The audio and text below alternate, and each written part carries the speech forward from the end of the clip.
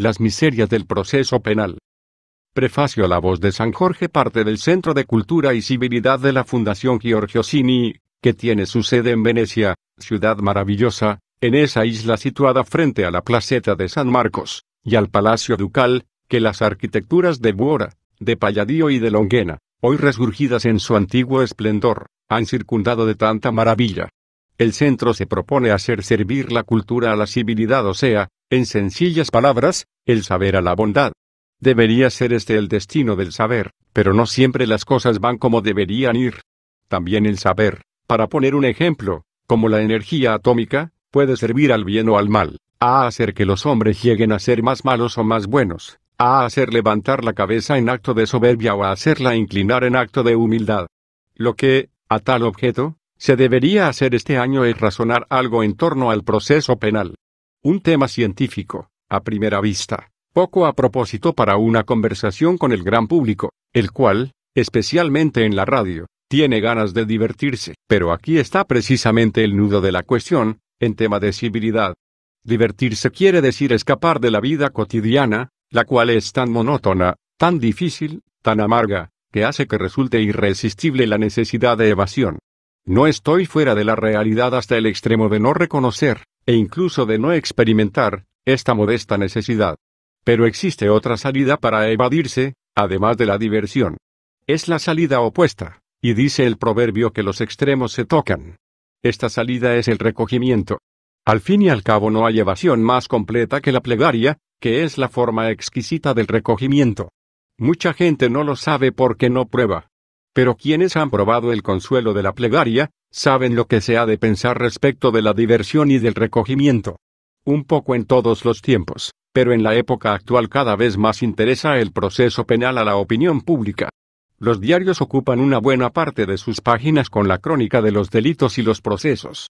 Quien los lee, tiene incluso la impresión de que, en este mundo, se produzcan muchos más delitos que buenas acciones. Lo que ocurre es que los delitos se asemejan a las amapolas, que cuando hay una en un campo, todos se dan cuenta de ella, y las buenas acciones se ocultan, como las violetas, entre la hierba del prado.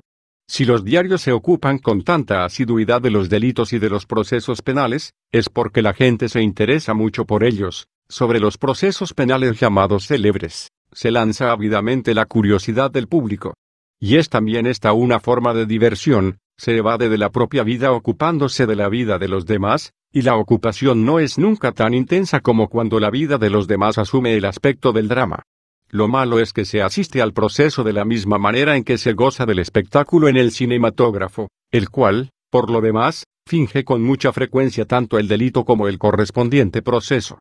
Pero puesto que la actitud del público respecto de los protagonistas del drama penal es la misma que tenía en un tiempo la multitud frente a los gladiadores que combatían en el circo, y tiene todavía, en ciertos países del mundo, frente a las corridas de toros, el proceso penal no es, desgraciadamente, otra cosa que una escuela de incivilidad. Lo que con estos coloquios se desearía es hacer del proceso penal un motivo de recogimiento en lugar de serlo de diversión. No vale oponer a esto que en torno a ese proceso se reúnen los hombres de ciencia, y que nada tienen que hacer los hombres de la calle. Los juristas, es cierto, lo estudian y aún lo deberían estudiar todavía mejor para conseguir que su mecanismo, delicado como ningún otro, se perfeccione, es este un problema con mucha más semejanza de la que pueda creerse respecto de los problemas de mecánica que resuelven los ingenieros, y también de esa semejanza debería darse cuenta la gente. Pero puesto que también los hombres de la calle se interesan en el proceso penal, resulta necesario que no lo confundan con un espectáculo cinematográfico, al cual se asiste para conseguir emociones. Pocos aspectos de la vida social afectan tanto como este a la civilidad. No es la primera vez que me ocurre advertir que la civilidad, con palabras muy simples que rara vez se leen en los libros, porque los hombres desgraciadamente son y quieren ser aún más, en cambio, terriblemente complicados, no es otra cosa sino capacidad de los hombres de amarse y, por eso, de vivir en paz. Ahora bien, el proceso penal es una piedra de toque de la civilidad no solo porque el delito, con tintas más o menos fuertes, es el drama de la enemistad y de la discordia, sino porque representa la relación entre quien lo ha cometido, o se dice que lo ha cometido y aquellos que asisten a él. A propósito de los ejemplos, recordados hace un momento es necesario reflexionar en torno a lo que ocurría en las gradas del Circo Máximo, en tiempos de Roma, o que ocurre todavía en las de las plazas de toros de España, de México, o de Perú.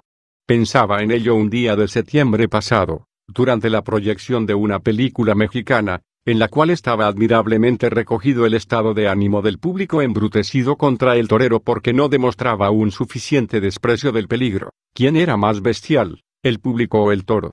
Aquella actitud no se puede explicar sino mediante una separación entre quien asiste y quien actúa, de tal manera que el gladiador, más que un hombre, es considerado una cosa. Considerar al hombre como una cosa, puede haber una fórmula más expresiva de la incivilidad, sin embargo, es lo que ocurre, desgraciadamente, nueve de cada diez veces en el proceso penal. En la mejor de las hipótesis, los que se van a ver, encerrados en la jaula como los animales en el jardín zoológico, parecen hombres ficticios más bien que hombres verdaderos. Y si alguno se da cuenta de que son hombres verdaderos, le parece que se trata de hombres de otra raza o, podríamos decir, de otro mundo. Este que así piensa no recuerda, cuando siente así, la parábola del publicano y del fariseo, y no sospecha que su mentalidad es propiamente la del fariseo, yo no soy como este. Lo que se necesita, en cambio, para merecer el título de hombre civil, es invertir tal actitud solo cuando lleguemos a decir, sinceramente, yo soy como este, entonces seremos verdaderamente dignos de la civilidad. Para intentar provocar esta inversión, trataremos juntos de comprender lo que es un proceso penal. Al obrar así, yo no hago, después de todo, más que recorrer de nuevo mi camino. También yo, como la mayor parte de vosotros, cuando era niño, sentía la curiosidad, ya que no fuese verdaderamente apasionado, por este espectáculo. Os contaré, al respecto, dentro de poco un episodio. En la universidad, sin embargo, una serie de circunstancias de las cuales he comprendido más tarde el propicio designio, me desviaron del derecho penal hacia el derecho civil. Así, durante largos años, yo he sido más bien un civilista que un penalista, también mi actividad científica se ha desarrollado más ampliamente en el terreno del derecho civil pero había subsistido en mí una atracción secreta hacia el derecho y el proceso penal. Existía una especie de corriente subterránea, que al llegar a un cierto punto, ha salido a la superficie de la Tierra. Estaría fuera de lugar el recordar con detalle las ocasiones que la vida me ofreció. Es un hecho que, un día, de la cátedra del proceso civil he pasado a la del derecho y después a la del proceso penal. Y ha ocurrido lo mismo que ocurre en una montaña cuando, Después de un largo camino encajonado entre las rocas, se alcanza la cima y se abre por fin ante los ojos el panorama iluminado por el sol.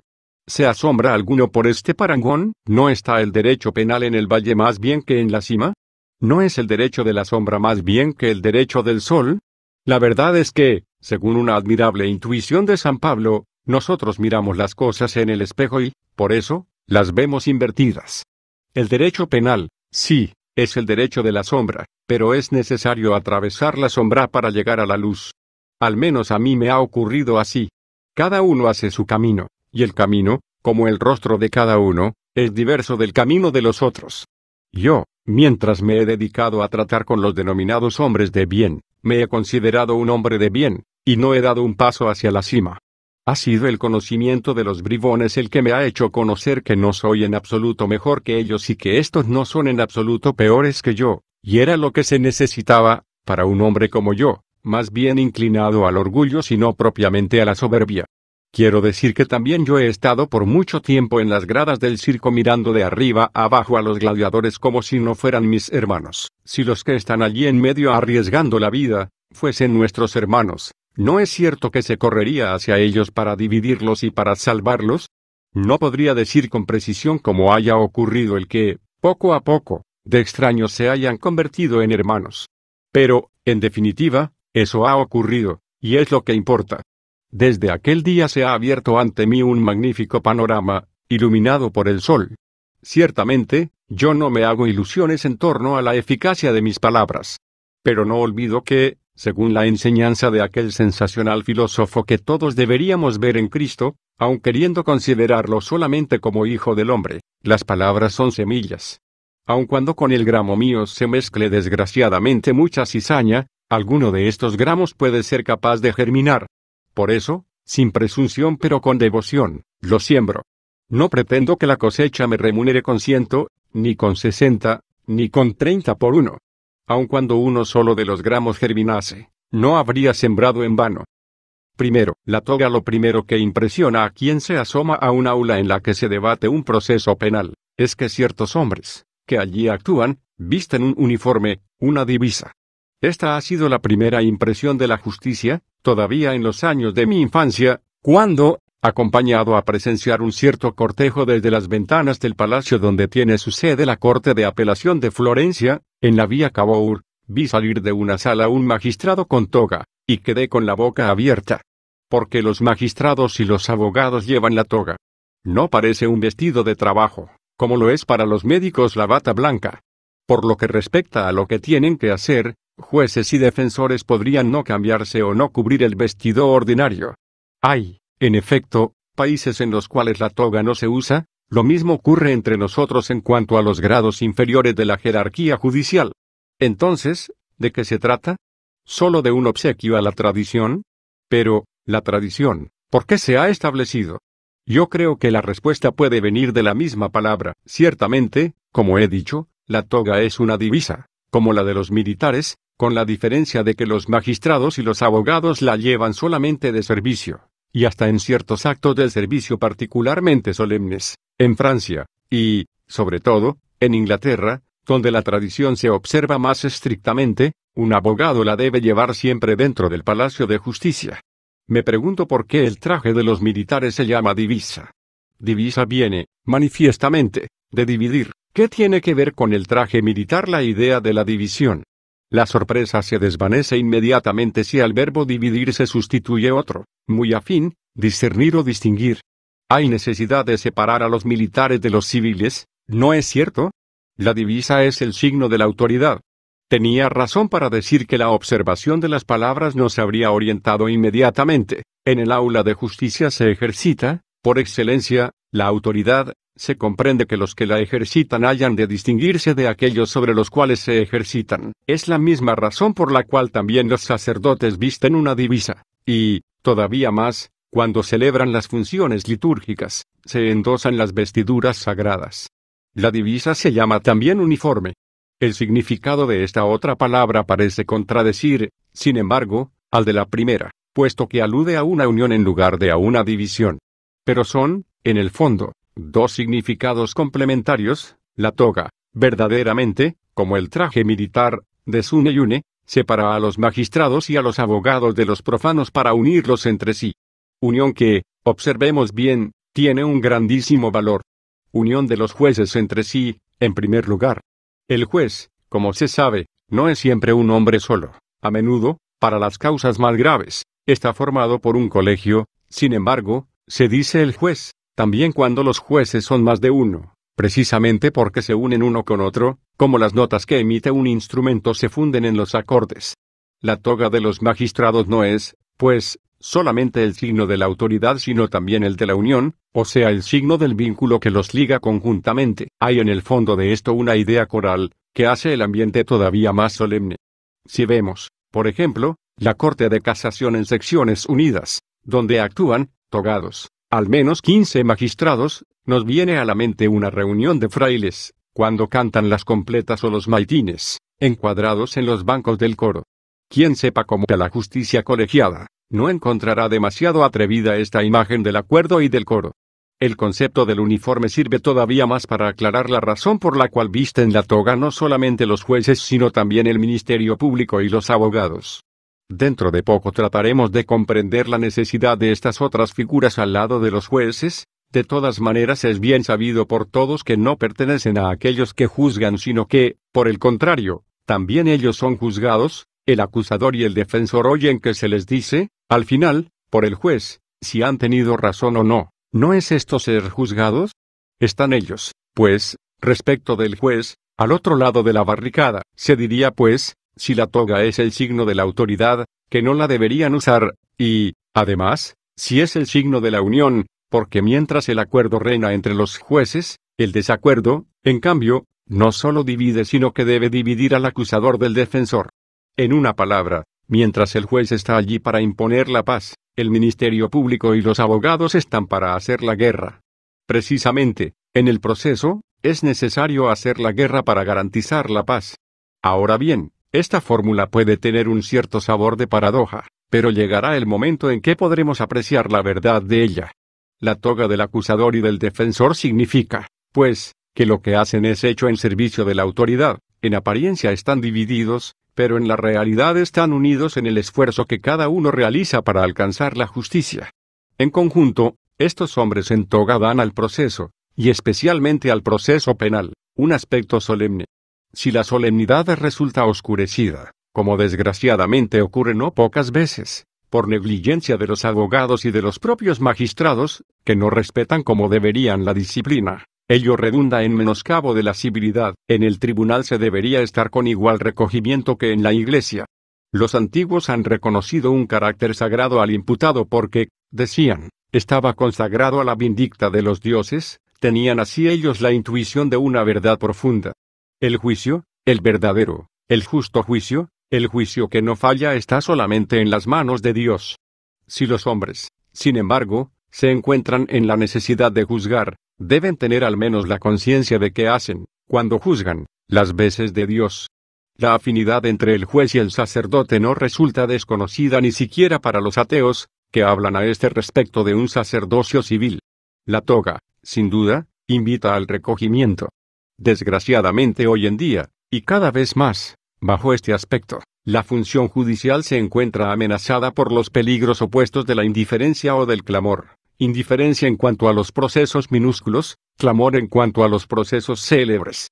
En aquellos, la toga parece un arnés inútil, en esto se asemeja, desgraciadamente, a un disfraz teatral, la publicidad del proceso penal, la cual responde no solo a la idea del control popular sobre el modo de administrar la justicia, sino también y más profundamente a su valor educativo, ha degenerado desgraciadamente en una ocasión de desorden, no solamente el público que llena las aulas hasta un límite inverosímil, sino también la intervención de la prensa, que precede y sigue el proceso con indiscretas imprudencias y no raras veces impudencias, contra las cuales nadie osa reaccionar, han destruido toda posibilidad de recogimiento para aquellos a los cuales incumbe el tremendo deber de acusar, de defender, de juzgar. Las togas de los magistrados y de los abogados se pierden actualmente entre la multitud, son cada vez más raros los jueces que tienen la severidad necesaria para reprimir este desorden. Hace casi 50 años, celebrándose en Venecia un juicio por homicidio, sobre el cual convergía la morbosa curiosidad de todo el mundo, en el aula de la corte de Asises, inverosímilmente abarrotada, cuando se levantó para ser interrogada, emergiendo de la jaula su estupenda figura, María Nikolaevna Tarnovsky, y un centenar de señoras, que llenaban los lugares reservados, puestas a su vez en pie, dirigieron sobre ella sus impertinentes y sus gemelos. Ángelo Fusinato, presidente insigne, exclamó con indignación contenida, mañana este espectáculo incivil no se repetirá ya. Más que las medidas que él supo tomar e inflexiblemente mantener durante el largo curso del proceso, recuerdo ahora, como las oí pronunciar, sus memorables palabras, este espectáculo incivil. Era el mismo presidente, el que no toleraba que un abogado se comportase en el hablar, en el vestir, en el gesto, de modo no conforme a la dignidad de su oficio y, por otra parte, cuando se dio cuenta, decidiendo una causa civil, haber cometido un error, no tuvo tranquilidad hasta el momento en que le fue posible hacer de ello pública rectificación. He aquí un magistrado, el cual había comprendido el valor que tiene el proceso penal para la civilidad de un pueblo. Los abogados de Venecia, para celebrar su ejemplo de firmeza, de dignidad, de abnegación, han ornado con su busto el gran atrio superior de la Corte de Apelación, y yo he querido recordar ahora su figura casi como para colocar bajo su protección lo que estoy diciendo en torno a esta más alta experiencia de civilidad, que debería ser el proceso penal. Segundo. El preso a la solemnidad, por no decir a la majestad de los hombres en toga, se contrapone el hombre en la jaula. No olvidaré nunca la impresión que ello me produjo la primera vez en que, adolescente apenas, entré en el aula de una sección penal del Tribunal de Turín. Aquellos, podría decirse, por encima del nivel del hombre, este, por bajo de ese nivel, encerrado en la jaula, como un animal peligroso. Solo, pequeño, aunque sea de estatura elevada, perdido, aun cuando trate de aparecer desenvuelto, necesitado, necesitado, necesitado. Cada uno de nosotros tiene sus preferencias, aún en materia de compasión. Los hombres son diversos entre sí incluso en el modo de sentir la caridad. También este es un aspecto de nuestra insuficiencia. Los hay que conciben al pobre con la figura del hambriento, otros con la del vagabundo, otros con la del enfermo. Para mí, el más pobre de todos los pobres es el preso, el encarcelado. Digo el encarcelado, obsérvese bien, no el delincuente. Digo el encarcelado, como lo ha dicho el Señor, en aquel famoso discurso referido en el capítulo vigésimo quinto del Evangelio de San Mateo, que ha ejercido sobre mí una fascinación incalculable, y hasta ayer, podría decirse, he creído que preso se dijese como sinónimo de delincuente, pero me equivocaba y la equivocación ha sido uno de los tantos episodios, aptos para demostrar que nunca se meditan bastante los discursos de Jesús. El delincuente mientras no está preso, es otra cosa. Confieso que el delincuente me repugna, en ciertos casos me produce horror. Entre otras cosas, a mí, el delito, el gran delito, me ha ocurrido verlo, al menos una vez, con mis propios ojos. Los que reñían parecían dos panteras. He quedado absolutamente horrorizado, y, sin embargo, bastó que yo viese a uno de los dos hombres que había derribado al otro con un golpe mortal, mientras los carabineros que acudieron providencialmente, le ponían las esposas, para que del horror naciese la compasión. La verdad es que, apenas esposado, la fiera se ha convertido en un hombre. Las esposas, también las esposas son un emblema del derecho, quizá, pensándolo bien, el más auténtico de sus emblemas, todavía más expresivo que la balanza y la espada. Es necesario que el derecho nos sujete las manos. Y precisamente las esposas sirven para descubrir el valor del hombre, que es, según un gran filósofo italiano, la razón y la función del derecho. Quid la teta parebit, repite él a este respecto con el diez irae, todo lo que está oculto, saldrá a la luz, lo que estaba oculto, la mañana en que vi a uno de los hombres lanzarse contra el otro, bajo las apariencias de la fiera, era el hombre, Tan pronto como le apretaron las muñecas con las cadenas, el hombre reapareció, el hombre, como yo, con su mal y con su bien, con sus sombras y con sus luces, con su incomparable riqueza y con su miseria espantosa. Entonces nació, del horror, la compasión. No me he dejado arrastrar ahora por la literatura, al hablar, a propósito del delincuente, de mal y de bien, de sombra y de luz, de miseria y de riqueza. Me han censurado muchas veces, incluso últimamente, con ocasión de una desdichada batalla por la abolición del ergástulo, una cosa que alguno define como una ingenuidad. Ojalá que lo fuese. La verdad es que Francisco, precisamente porque ha interpretado a Cristo mejor que ningún otro, ha llegado más al fondo que ningún otro en el abismo del problema penal. Francisco, solo Francisco ha comprendido, al besar al leproso, lo que había querido decir Jesús con la invitación a visitar a los presos, los sabios, que continúan considerando la pena, según una fórmula famosa, como un mal que se hace sufrir al delincuente por el mal que él ha hecho sufrir, ignoran u olvidan lo que Cristo ha dicho a propósito del demonio que no sirve para expulsar al demonio. No es con el mal con lo que se puede vencer al mal. Ya Virgilio, antes de que descendiese sobre los hombres la luz de Cristo, había cantado, Omnia vincita amor, el amor solamente es siempre victorioso. No se puede hacer una neta división de los hombres en buenos y malos. Desgraciadamente nuestra corta visión no permite apreciar un germen de mal en aquellos que se llaman buenos, y un germen de bien en aquellos que se llaman malos. Y esta visión tan corta depende de que nuestro intelecto no está iluminado por el amor. Basta tratar al delincuente en lugar de como una bestia, como un hombre para apreciar en él la incierta llama del pabilo humeante, que la pena en vez de apagar debe reavivar.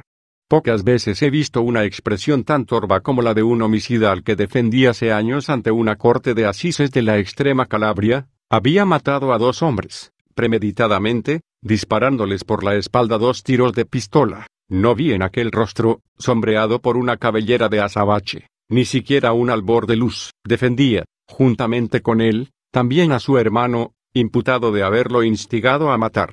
En el coloquio que tuve con él, Apenas llegué allá abajo tuve que decirle que desgraciadamente para él no habla esperanza que a lo más se podía intentar, con las atenuantes genéricas, convertir el esgástulo en 30 años de reclusión. Él me escuchó impasible, después dijo, no se ocupe de mí, abogado, no importa, yo soy un hombre perdido, piense en salvar a mi hermano, que tiene nueve criaturas. Entonces, un rayo de amor iluminó su frente. ¿No era su riqueza aquel amor fraterno que le hacía olvidar incluso su tremendo destino? La verdad es que el germen del bien, en cada uno de nosotros, y no en los delincuentes solamente, está aprisionado. Hay quien tiene más y quien tiene menos, pero ninguno de nosotros tiene todo el espacio que debería tener. Todos, en una palabra, estamos en prisión, una prisión que no se ve, pero que no se puede dejar de sentir. Esa angustia del hombre, que constituye el motivo de una corriente de la filosofía moderna, de gran notoriedad y de indiscutible importancia, no es otra cosa que el sentido de la prisión. Cada uno de nosotros está aprisionado mientras está encerrado en sí mismo, en la solicitud por sí mismo, en el amor de sí mismo. El delito no es otra cosa que una explosión de egoísmo en su raíz. Lo otro no cuenta, lo que cuenta, solamente, es el sí mismo. Solamente abriéndose hacia nosotros el hombre puede salir de la prisión. Y basta que se abra hacia nosotros para que entre por la puerta abierta la gracia de Dios. Kid la teta parebit, canta el 10 Irae. Pocas intuiciones son más felices que la del filósofo, que ha expresado con este verso la eficacia del derecho. La jaula, o las esposas, decíamos, son una enseña del derecho y por eso revelan la naturaleza y la desventura del hombre. El hombre encadenado o el hombre encerrado en una jaula es la verdad del hombre. El derecho no hace más que revelarla. Cada uno de nosotros está encerrado en una jaula que no se ve. Nosotros no nos asemejamos a los animales porque estemos en la jaula, sino que estamos en una jaula porque nos asemejamos a los animales.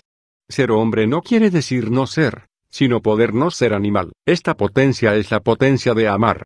¿Quién habría imaginado estas cosas cuando vi, todavía niño, un hombre encaulado, en el aula oscura del tribunal de Turín?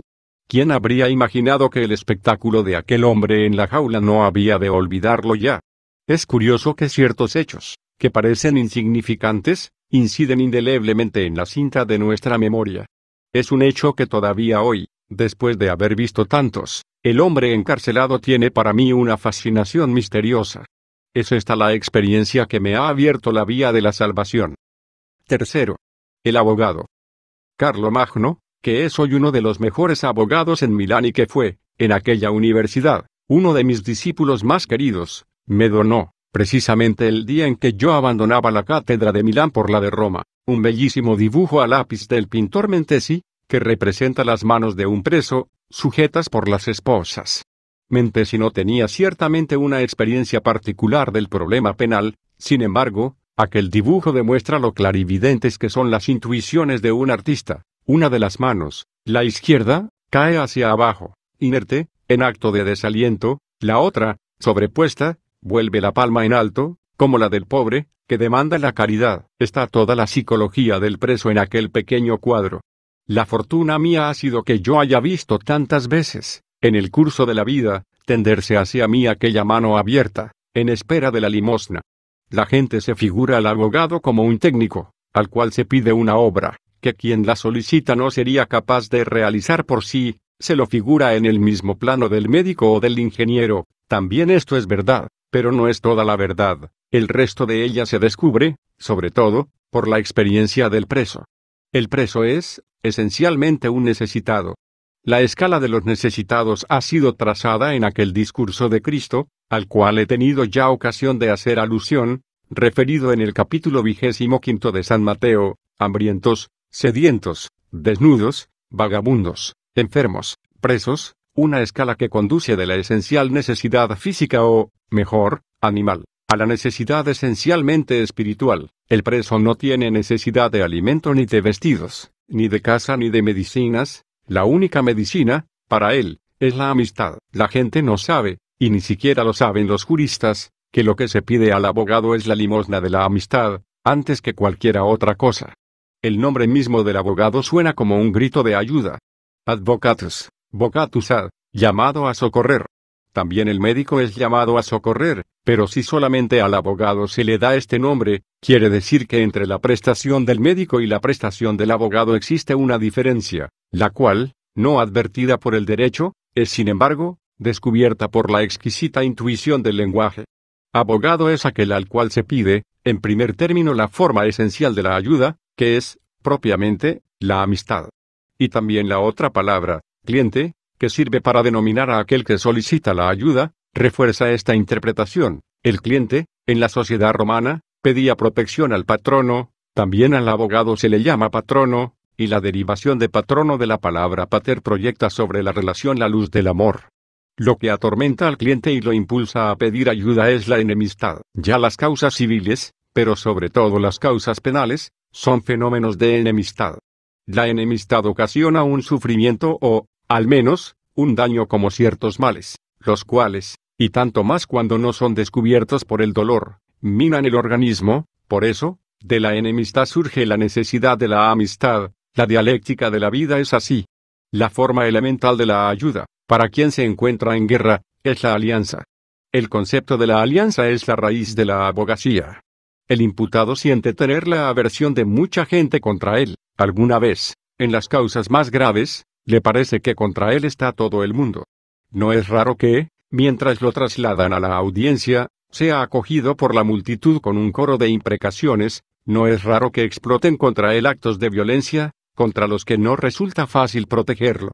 ¿Os imagináis el estado de ánimo de Catalina Ford que, cuando se presentó ante los jueces, todos la llamaban la fiera? Es necesario no solo pensar en estos casos, sino tratar de meterse en el pellejo de estos desgraciados para comprender su espantosa soledad y, con esta, su necesidad de compañía. Compañeros, de cumpane, es aquel que parte con nosotros el pan. El compañero se sitúa en el mismo plano de aquel a quien hace compañía. La necesidad del cliente, especialmente del imputado, es esta, la de uno que se coloque junto a él, en el último peldaño de la escala. La esencia, la dificultad, la nobleza de la abogacía es esta, situarse en el último peldaño de la escala, junto al imputado. La gente no comprende aquello que, por lo demás, tampoco los juristas comprenden, y ríe, y se burla, y escarnece. No es un oficio que goce de los favores del público, el del cirineo. Las razones, por las cuales la abogacía es objeto, aun en el campo literario e incluso en el campo litúrgico, de una difusa antipatía, no son otras que esta. Y hasta Manzoni, cuando ha tenido que retratar a un abogado, ha perdido su bonomía y la Iglesia ha dejado introducir en el himno a San Ivo, patrón de los abogados, un verso injurioso. Las cosas más simples son las más difíciles de comprender. Digámoslo con claridad, la experiencia del abogado cae bajo el signo de la humillación. Es cierto que viste la toga, colabora, desde luego, en la administración de la justicia, pero su puesto está abajo, y no en alto. Él comparte con el imputado la necesidad de pedir y de ser juzgado. Está sujeto al juez como lo está el imputado. Pero precisamente por esto la abogacía es un ejercicio espiritual saludable. Pesa el deber pedir, pero es provechoso. Habitúa a rogar. ¿Qué otra cosa es, más que un pedir, la plegaria. La soberbia es el verdadero obstáculo a la plegaria, y la soberbia es una ilusión de potencia. No hay otra cosa mejor que la abogacía para curarnos de tal ilusión. El más grande de los abogados sabe que no puede hacer nada frente al más pequeño de los jueces, a menudo, el más pequeño de los jueces es aquel que lo humilla más. Está constreñido a llamar a la puerta como un pobre. Y ni siquiera está escrito sobre la puerta. Pulsate et aperietur. No pocas veces se llama en vano. La experiencia se hace más dolorosa y más saludable. Se creía tener razón, se había estudiado tanto, se había sudado tanto, en cambio, es necesario conocer estos momentos para comprender. Los romanos dominaban la actividad del abogado en el proceso con el verbo postular. Dicen los diccionarios que este verbo significa pedir aquello que hay derecho a tener. Y es esto lo que agrava el peso del pedir. No debería haber necesidad de pedir aquello que hay derecho a tener. En conclusión, es necesario someter el juicio propio al ajeno, aun cuando todo permita creer que no haya razón para atribuir a otro una mayor capacidad de juzgar. Esto significa, en el plano social, colocarse junto al imputado en el último peldaño de la escala, un sacrificio, pero no existe sacrificio sin beneficio. Por esto he dicho que nuestra experiencia es saludable, el beneficio se tiene cuando se comienza a percibir, en la oscuridad, la llamita del pabilo humeante. Un beneficio, como ocurre siempre en las cosas del espíritu, que al mismo tiempo se da y se recibe. Si aquella llamita se reaviva, su calor no calienta solamente el alma del cliente sino la del patrono al mismo tiempo. Por el poco bien que yo haya podido hacer a alguno de estos desgraciados, Ha sido inmenso el beneficio que he recibido de ellos, del Señor, se entiende, pero por medio de ellos, por eso, porque el Señor ha dicho que cuanto se da a ellos es recibido por Él, los pobres son los delegados de Dios. El preso, la gente no lo sabe y menos aún lo sabe Él, está hambriento y sediento de amor. La necesidad de amistad procede de su desolación. Cuanto más grande es la desolación, más profunda y fecunda es la necesidad de amistad. Inconscientemente él pide lo que es indispensable a fin de que el defensor pueda cumplir con su oficio. Lo que el defensor debe poseer, ante todo, a tal fin, es el conocimiento del imputado, no, como el médico, el conocimiento físico, sino el conocimiento espiritual. Conocer el espíritu de un hombre quiere decir conocer su historia, y conocer una historia no es solamente conocer la sucesión de los hechos, sino encontrar el hilo que los vincula. En este sentido, la historia es una reconstrucción lógica, no una exposición cronológica de los acontecimientos. Todo esto no es posible si el protagonista no abre, poco a poco, su alma. Este tipo de protagonistas, que son los delincuentes, tienen, por definición, almas cerradas. Al mismo tiempo en que solicitan la amistad, oponen la desconfianza y la sospecha. Impregnados de odio, ven el odio aún donde no existe más que amor. Son como animales selváticos que solo con infinita delicadeza y paciencia se pueden domesticar. Alguno dirá que yo veo así la abogacía bajo el perfil de la poesía. Puede ocurrir. La poesía de su oficio es algo que un abogado siente en dos momentos de la vida, cuando viste por primera vez la toga o cuando, si propiamente no la ha depuesto, está por deponerla, en el alba y en el ocaso. En el alba, defender la inocencia, hacer valer el derecho, hacer triunfar la justicia. Esta es la poesía. Después, poco a poco, caen las ilusiones, como las hojas del árbol, después del fulgor del estío, pero a través de la maraña de las ramas, cada vez más desnudas, sonríe el azul del cielo. Ahora no estoy ya seguro ni de haber defendido la inocencia, ni de haber hecho valer el derecho, ni de haber hecho triunfar la justicia, y, sin embargo, si el Señor me hiciese nacer de nuevo, comenzaría otra vez. No obstante los fracasos, las amarguras, los desengaños, el balance es activo. Si hago el análisis de él, me doy cuenta de que la partida capaz de colmar todas las deficiencias consiste precisamente en aquella humillación de deberme encontrar, junto a tantos desgraciados, contra los cuales se desencadena el vituperio y se encarniza el desprecio, en el último peldaño de la escala. Cuarto. El juez y las partes. En lo más alto de la escala está el juez. No existe un oficio más alto que el suyo ni una dignidad más imponente. Está colocado, en el aula, sobre la cátedra, y merece esta superioridad. El lenguaje de los juristas celebra al juez con una palabra, acerca de cuyo profundo significado los juristas mismos, y tanto más los filósofos, deberían de tener, más de lo que la detienen, la atención. Nosotros decimos que ante el juez están las partes.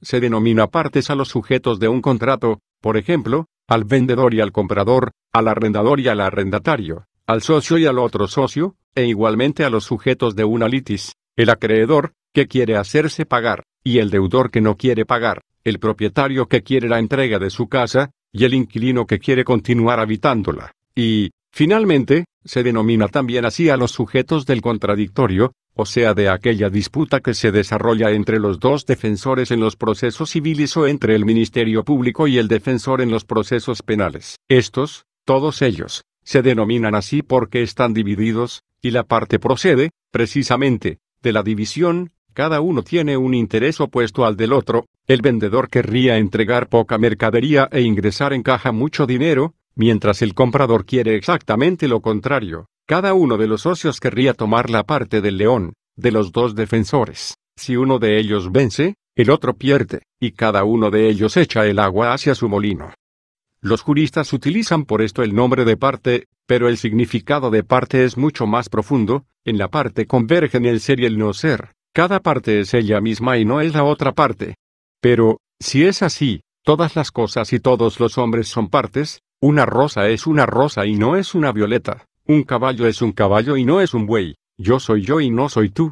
Y este descubrimiento de ser el hombre no otra cosa que una parte tiene inestimable valor, por eso, los filósofos deberían conceder mayor crédito al lenguaje de los juristas y prestarle mayor atención. Así, pues, si aquellos que están ante el juez para ser juzgados son partes, quiere decir que el juez no es parte.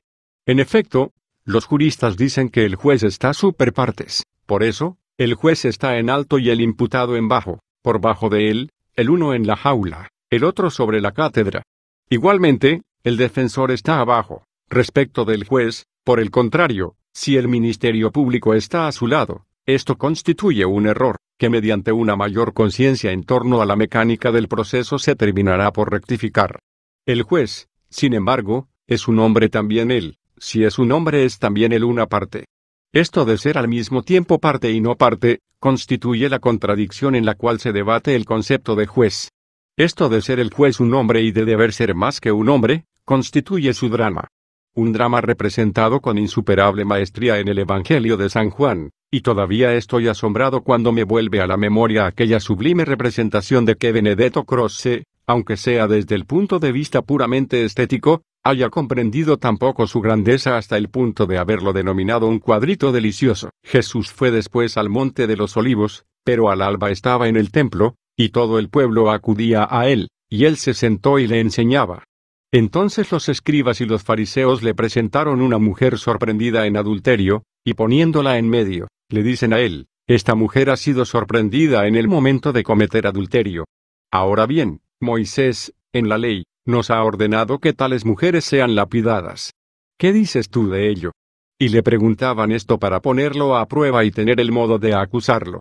Pero Jesús se inclinó y con el dedo se puso a escribir sobre la tierra. Insistiendo aquellos en interrogarlo, se alzó, respondiendo, ¿Quién de vosotros esté libre de pecado que tire la primera piedra? San Juan, V.I. L. Es lo suficiente para quedar sin aliento. Signo de exclamación abierta. ¿Quién de vosotros esté libre de pecado que tire la primera piedra? Es necesario, para sentirse dignos de castigar, estar libres de pecado, solamente entonces el juez está sobre aquel que es juzgado. Y puesto que el pecado no es otra cosa que nuestro no ser aquellos que deberíamos ser, es necesario ser plenamente, sin deficiencias, sin sombras, sin lagunas, en suma, es necesario no ser partes para ser jueces. Nada de cuadrito delicioso. El problema del juez, el más arduo problema del derecho y del Estado, está planteado aquí con una claridad espantosa. Ciertamente, así lo entendieron los escribas y los fariseos, que habían intentado confundir al Maestro, ya que el Evangelio continúa narrando que Jesús de nuevo se inclinó y escribía en la tierra. Esperaba él, absorto, el efecto de sus palabras. Entonces, escribas y fariseos, se fueron marchando uno tras otro comenzando por los más viejos, hasta los últimos, y quedó solo Jesús y la mujer, que estaba en el medio. San Juan, vi 8. Ningún hombre, si pensase en lo que es necesario para juzgar a otro hombre, aceptaría ser juez. Y, sin embargo, es necesario encontrar jueces. El drama del derecho es este. Un drama que debería estar presente a todos, de los jueces a los justiciables en el acto en que se celebra el proceso. El crucifijo que, gracias a Dios, en las aulas judiciales, pende todavía sobre la cabeza de los jueces y que todavía sería mejor que se hubiese puesto frente a ellos, a fin de que puedan posar con frecuencia su mirada en él, está para significar su indignidad, es, no otra cosa, la imagen de la víctima más insigne de la justicia humana. Solo la conciencia de su indignidad puede ayudar al juez a ser menos indignos. La ley ha intentado todos los expedientes posibles para garantizar la dignidad del juez. El más obvio entre estos consiste en el juicio colegiado, puesto que el juzgar a otro hombre exige que quien juzga sea más que quien es juzgado, lo hace juzgar por varios hombres reunidos. A primera vista, el expediente parece ilusorio, una dignidad no se obtiene con la suma de varias indignidades. Pero lo cierto es que una cosa ha de considerarse la suma de varios jueces, y otra su unidad. No se trata, en el colegio, de añadir un juez a otro como los sumandos de una adición, sino de vertere plures in unum, diríamos en latín, esto es, de hacerlos convertirse en uno solo. Está de por medio el misterioso concepto del acuerdo o del acorde, clave en la música y clave del derecho, misterioso porque todavía no sabemos, y quizá no lo sepamos nunca, cómo puede ocurrir que cuando entre dos hombres se produce verdaderamente la unión y, por tanto, se forma la unidad, se comunica a cada uno el ser del otro, pero no el no ser, el bien pero no el mal. Puede parecer que la Asociación para Delinquir desmienta esta afirmación, pero reflexionando uno se da cuenta de que si los delincuentes son mantenidos juntos por el miedo, se trata de una falsa unión, como sería la de unas de varas atadas juntamente, que no forman en absoluto una vara sola, o hay entre ellos afecto, y este es en todo caso un germen del bien, el cual puede siempre encontrarse envuelto y oculto bajo la corteza del mal.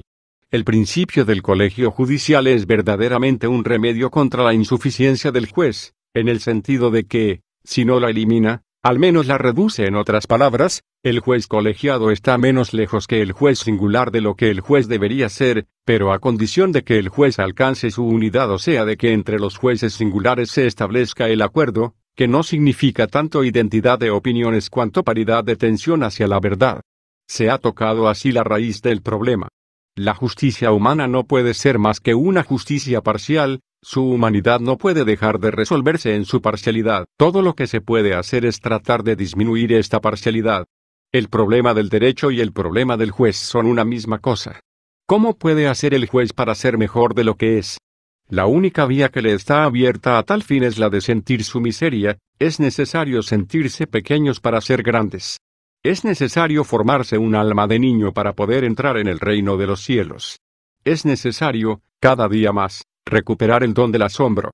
Es necesario asistir, cada mañana, con más profunda emoción a la salida del sol, y cada tarde a su ocaso. Es necesario sentirse, cada noche, aniquilados por la infinita belleza del cielo estrellado. Es necesario permanecer atónitos ante el perfume de un jazmín o ante el canto de un ruiseñor. Es necesario caer de rodillas ante cada manifestación de este indecible prodigio que es la vida. Otros dirán que el juez, para ser juez, debe realizar ciertos estudios, superar ciertos exámenes, someterse a ciertos controles. Sobre todo, hoy se enseña que, para ser juez penal, es necesario estudiar, además del derecho, la sociología, la antropología, la psicología. Ciertamente, son estudios útiles e incluso necesarios, pero no suficientes. Ante todo no se debe creer que se pueda poner sobre la mesa anatómica, como se pone el cuerpo, también el alma humana. No se debe confundir el espíritu con el cerebro. Ciertamente, el espíritu está condicionado por el cuerpo y viceversa. En particular, la psicología es la ciencia que estudia estas relaciones, pero más allá de estas, se encuentra el campo que el juez debe, sobre todo, conocer, y mucho me temo que a su conocimiento no ayuden ni las universidades, ni los institutos complementarios. Narra una fábula, que he aprendido en una revista argentina, que a las protestas de los ángeles por la creación de este ser absurdo, medio ángel y medio bestia, que es el hombre, el creador ha contestado, el hombre no es cuestión para congresos de filosofía, el hombre no es cuestión que se pueda discutir en estos congresos, y habría agregado, el hombre es cuestión de fe en el hombre. Desde que tuve ocasión de leerlas, hace años, no se me han ido de la mente estas palabras. Podría decirse también que es cuestión de fe en el hombre la cuestión penal. Pero la fe en el hombre se adquiere solamente amando al hombre. Más que leer muchos libros, yo querría que los jueces conocieran muchos hombres, si fuese posible, sobre todo, santos y canallas, los que están en lo más alto o sobre el peldaño más bajo de la escala. Parecen inmensamente distantes, pero en el terreno del espíritu suceden cosas extrañas. Se necesita muy poco para convertirse de canalla en santo, Cristo, con el ejemplo del ladrón crucificado, nos lo ha enseñado.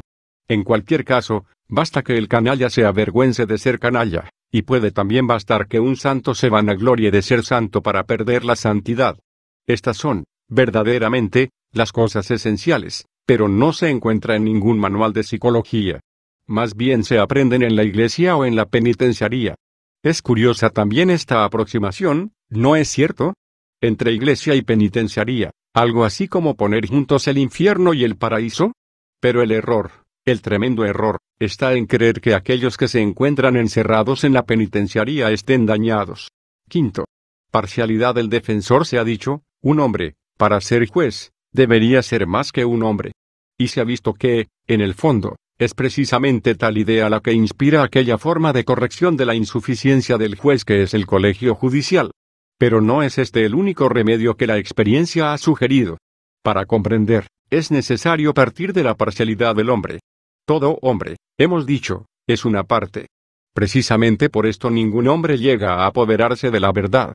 Aquella que cada uno de nosotros cree la verdad, no es más que un aspecto de la verdad, algo así como una minúscula faceta de un diamante maravilloso. Es lo que Cristo nos ha enseñado diciendo, yo soy la verdad, alcanzar la verdad es alcanzarlo a Él, y a Él, amándolo, nos podemos acercar sin fin, pero alcanzarlo no, porque Él es infinito. La verdad es como la luz o como el silencio que comprenden todos los colores y todos los sonidos, pero la física ha demostrado que nuestro ojo no ve y nuestro oído no oye más que un breve segmento de la gama de los colores o de los sonidos. Hay más acá y más allá de nuestra capacidad sensoria los infracolores y los ultracolores así como los infrasonidos y los ultrasonidos. Así se explica un modo de decir, el cual, para quien quiere comprender este importantísimo hecho social que es el proceso, tiene una importancia de primer plano. El juez, cuando juzga, establece quién tiene razón, esto quiere decir, de qué parte está la razón. La cual razón es, y no puede ser más que una, como la verdad, también, en ese sentido son equivalentes razón y verdad. Pero, ¿cómo se explica? Entonces, si la razón es una sola, que, precisamente en el proceso, cada una de las partes exponga sus razones. Las que el Ministerio Público y el defensor exponen, cuando discuten, son las razones por las cuales el primero pide la condena y el segundo la absolución. ¿Cómo se concilia la unidad de la razón con la pluralidad de las razones? ¿Cómo puede ocurrir que de quien termina por no tener razón se pueda decir que ha expuesto sus razones? La verdad es que, acudiendo de nuevo al parangón, la razón se descompone en las razones como la luz se descompone en los colores y el silencio en los sonidos. Del mismo modo que no podemos afrontar toda la luz ni gozar todo el silencio, Así tampoco podemos apoderarnos de toda la razón. Las razones son aquella fracción de verdad que a cada uno de nosotros nos parece haber alcanzado. Cuantas más razones se expongan, tanto más será posible que, juntándolas, uno se aproxime a la verdad. En el fondo, cuando el juez entra a juzgar, se encuentra ante una duda, ¿este es culpable o es inocente? También duda es una palabra transparente, dubium viene de tuo. Una doble vía se abre ante el juez, de acá o de allá. El juez debe escoger. Pero a fin de escoger debe recorrer uno u otro camino, ya que de otro modo no podría ver a dónde van a dar. Ahora bien, se comprende para qué sirve, para el juez, el defensor, y por qué frente al defensor, se coloca al acusador, son los que guían al juez a lo largo de los dos caminos, a fin de que pueda escoger uno de ellos. Acusador y defensor son, en último análisis, dos razonadores, construyen y exponen las razones. Su oficio es razonar. Pero un razonar, con licencias, de pie forzado. Un razonar en modo diverso del razonar del juez. No es quizá muy fácil de comprender, pero si no se comprende esto, tampoco se comprende el proceso, y no basta que comprendan los juristas, porque este es el punto respecto del cual los profanos pueden tener en torno al proceso impresiones falaces y nocivas para la civilidad. Razonar es, en palabras sencillas, exponer premisas y sacar consecuencias. El imputado ha confesado haber matado, así, pues, él ha matado. En términos de lógica, primero vienen las premisas y después las consecuencias.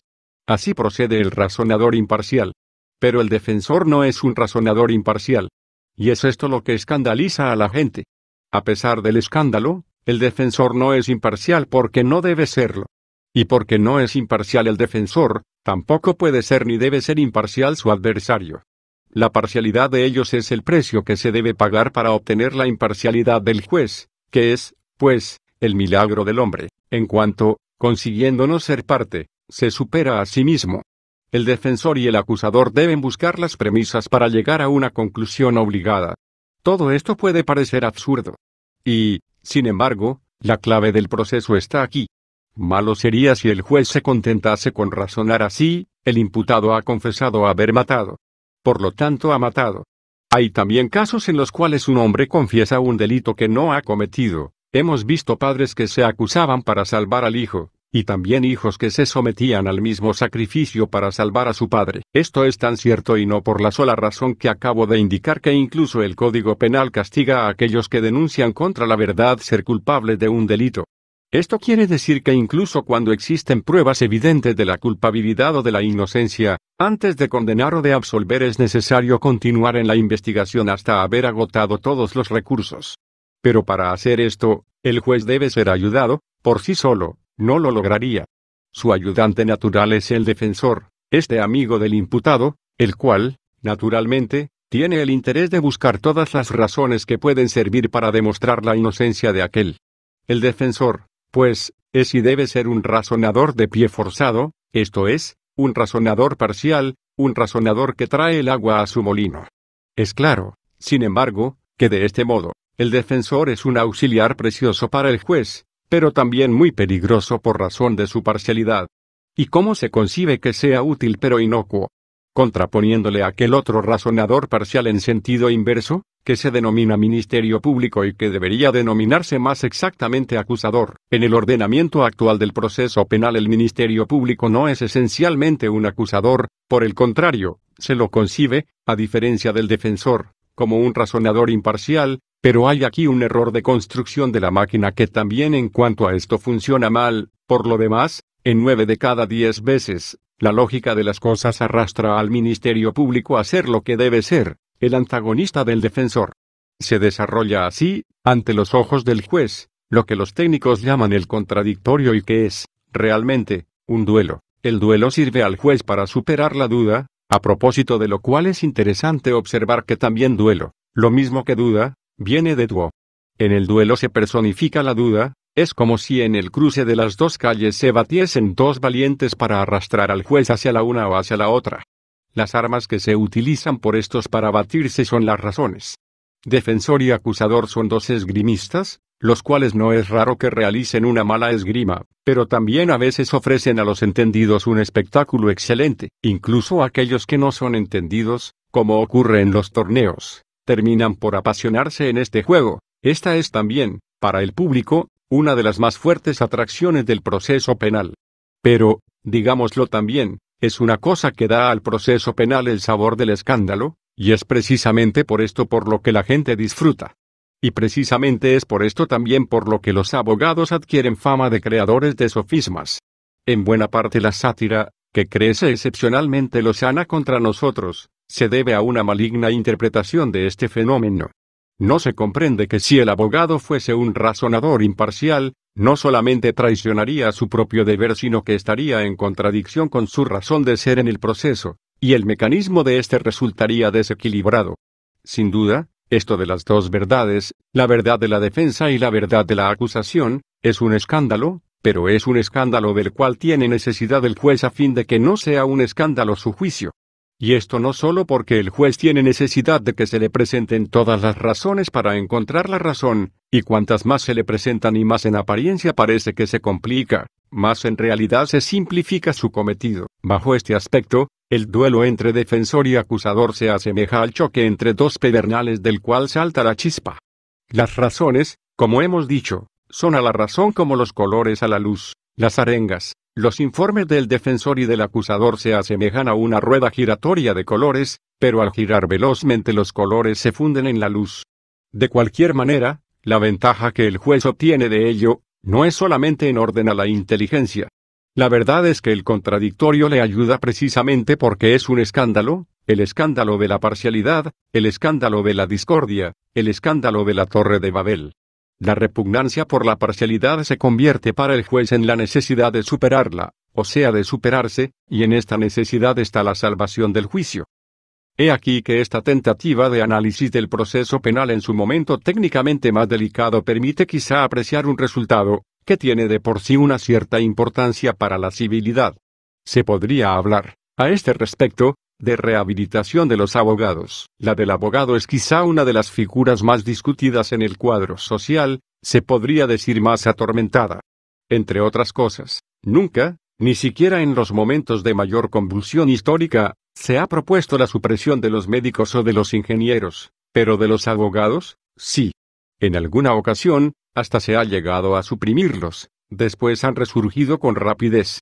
En el fondo, la protesta contra los abogados es la protesta contra la parcialidad del hombre. Mirándolo bien, ellos son los irineos de la sociedad, llevan la cruz por otro, y esta es su nobleza. Si me pidierais una divisa para la orden de los abogados, propondría el virgiliano sig vos non vobis, somos los que aramos el campo de la justicia y no recogemos su fruto. Sexto. Las pruebas. El cometido del proceso penal está en saber si el imputado es inocente o culpable. Esto quiere decir, ante todo, si ha ocurrido o no ha ocurrido en determinado hecho. Un hombre ha sido o no ha sido matado, una mujer ha sido o no ha sido violada, un documento ha sido o no ha sido falsificado, una joya ha sido o no ha sido sustraída, sería necesario, saber, ante todo, que es un hecho. Son palabras que se emplean intuitivamente, se las comprende de manera aproximativa, pero es necesario que nos detengamos a reflexionar sobre ellas. Un hecho es un trozo de historia, y la historia es el camino que recorren, desde el nacimiento hasta la muerte, los hombres y la humanidad. Un trozo de camino, pues. Pero de camino que se ha hecho, no del camino que se puede hacer. Saber si un hecho ha ocurrido o no, quiere decir volver atrás. Este volver atrás es lo que se llama hacer la historia. No es un misterio que en el proceso, y no solamente en el proceso penal, se hace historia. Digo, no es un misterio para los juristas, los cuales desde hace mucho tiempo han puesto en él su atención, pero puede sorprender al hombre de la calle, al cual mi discurso está dirigido.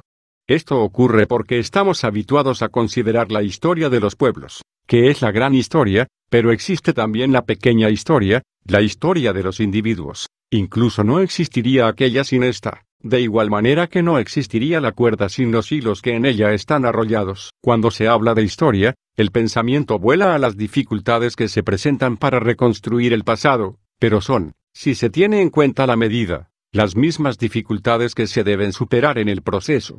Con esto de peor, el delito es un trozo de camino, del cual quien lo ha recorrido trata de destruir las huellas.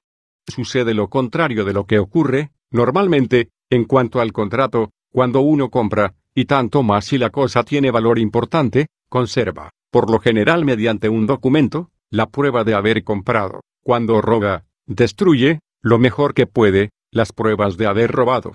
Las pruebas sirven, precisamente, para volver atrás, o sea, para hacer o, mejor aún, para reconstruir la historia. Como hace quien, habiendo caminado a través de los campos, quiere recorrer en sentido contrario el mismo camino. Sigue las huellas de su paso. Viene a la mente la figura del perro policía, el cual va olfateando acá y allá para seguir, por medio del olfato, el camino del malhechor perseguido. El trabajo del historiador es este.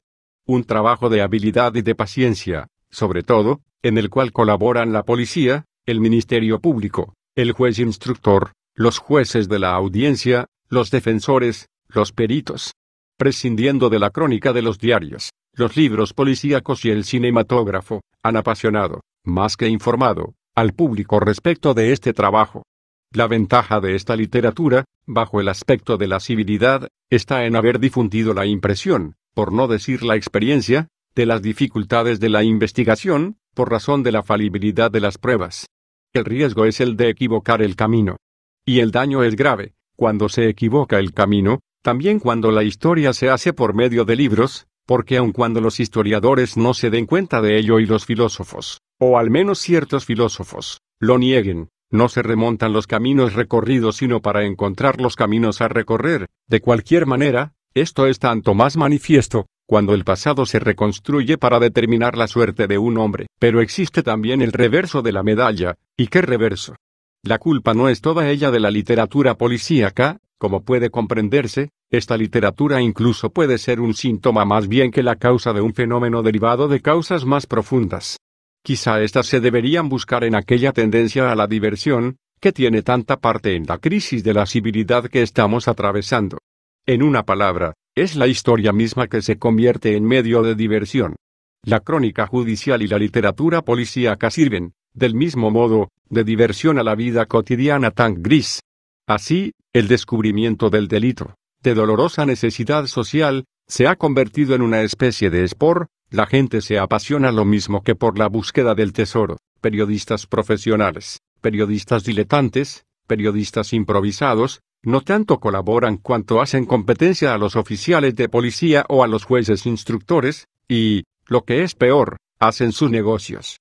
Cada delito desencadena una serie de investigaciones, de conjeturas, de informaciones, de indiscreciones. Policías y magistrados, de vigilantes se convierten en vigilados por grupos de voluntarios dispuestos a señalar cada uno de sus movimientos, a interpretar cada uno de sus gestos, a publicar cada una de sus palabras, los testigos son olfateados como la liebre por el galgo.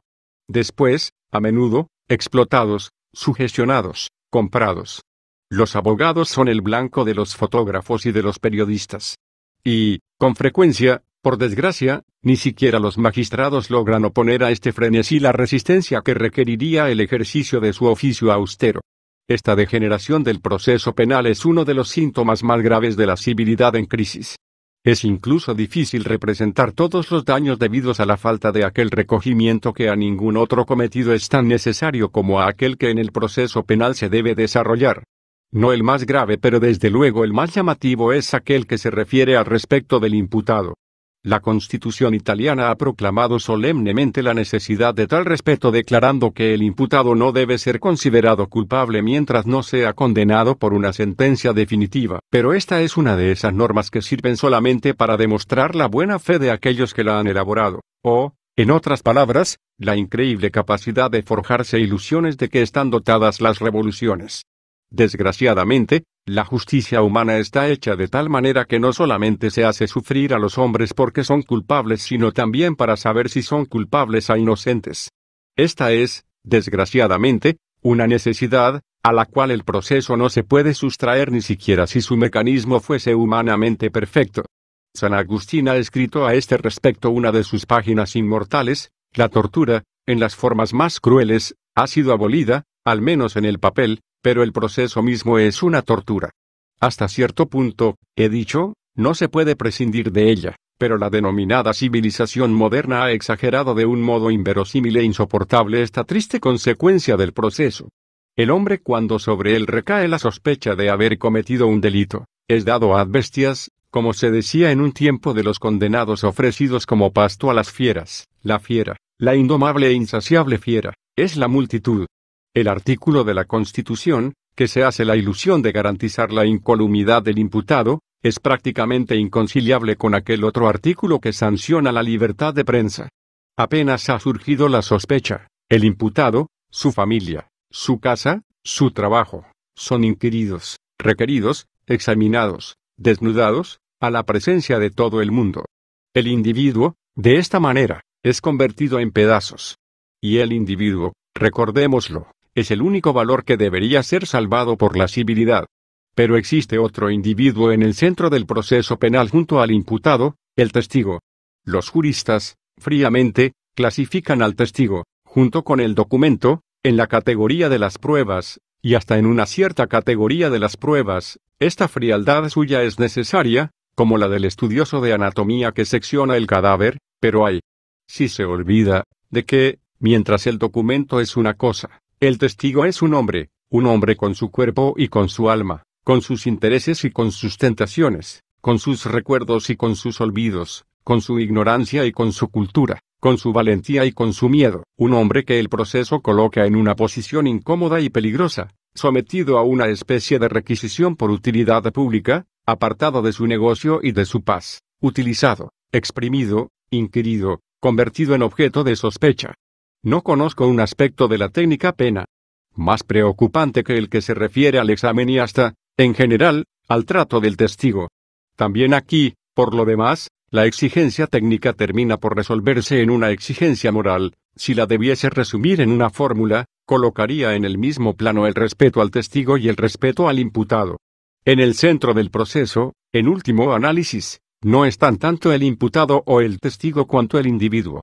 Todos saben que la prueba testimonial es la más falaz de todas las pruebas, la ley la rodea de muchas formalidades, que querrían prevenir los peligros, la ciencia jurídica llega hasta el punto de considerarla un mal necesario, la ciencia psicológica regula e inventa incluso instrumentos para su valoración o sea para discernir la verdad de la mentira pero el mejor modo de garantizar el resultado ha sido y será siempre el de reconocer en el testigo un hombre y concederle el respeto que merece todo hombre. Recientemente, un fino abogado, ginebrino, comentando aquel proceso de Digne, en Francia, por el asesinato de la familia Drummond, amargamente llamado por el Kermesse Judiciaire o proceso heuristique, al observar a los fotógrafos que, en el aula Juches, Perches, Devout, Asís, Acrogupis, Mitrailla y Entlestemoin se preguntaba cómo es posible que la verdad salga a la superficie cuando el testigo es perseguido por los fotógrafos, rodeado, hasta tocarlo, por los periodistas, por los guardias,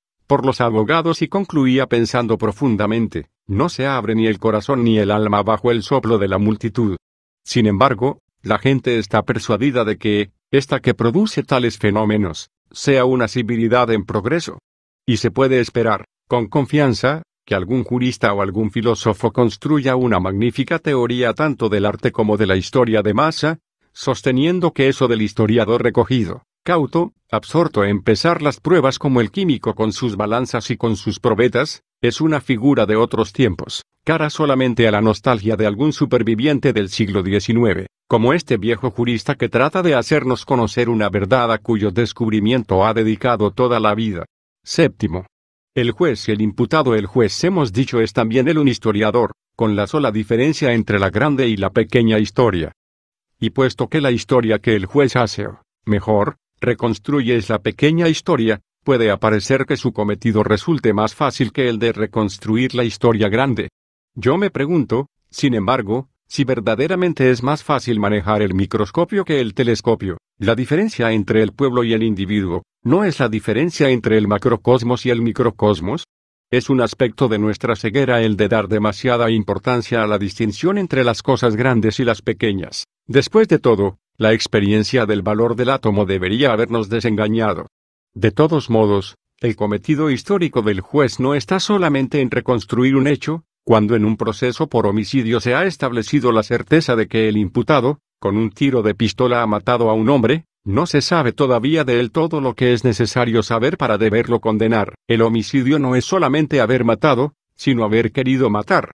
Esto quiere decir que el juez no debe limitar su investigación a los aspectos externos, o sea, a las relaciones del cuerpo del hombre con el resto del mundo, sino que debe descender, mediante su investigación, al alma de aquel hombre.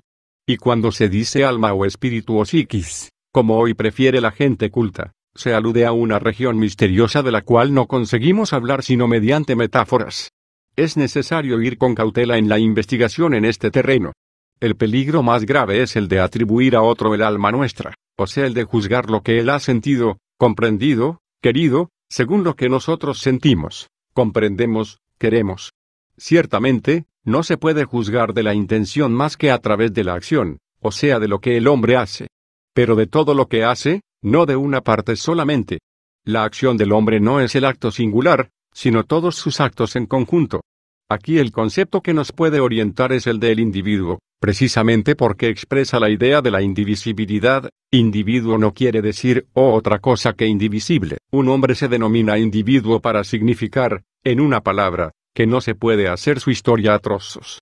Lo que el hombre ha querido no se puede conocer sino a través de lo que el hombre es, y lo que el hombre es se conoce solamente de toda su historia. El yo de cada uno de nosotros es un centro al cual se refieren y en el cual se unifican todos nuestros actos. Cada uno de nuestros actos se relaciona con este principio. Físicamente el acto puede ser considerado en sí, psicológicamente, no. La voluntad de un acto es el principio, y el principio no se encuentra sino al final de la historia de un hombre. Esto quiere decir, en una palabra, que cuando el juez ha reconstruido un hecho no ha recorrido más que la primera etapa del camino, más allá de esta etapa el camino prosigue, porque le queda por conocer la vida entera del imputado. Esta verdad, que espero haber enunciado con bastante claridad, se encuentra actualmente reconocida por las leyes penales modernas.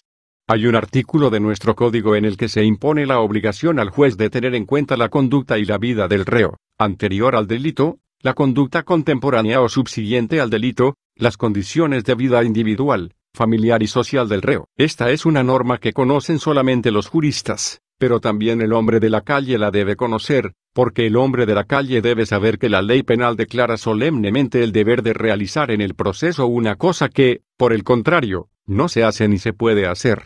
De esto debería resultar para él un escándalo, pero a fin de que los escándalos puedan beneficiar, deben ser conocidos.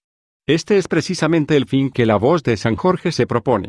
Lo que la ley quiere es precisamente que el juez haga, toda entera, la historia del imputado.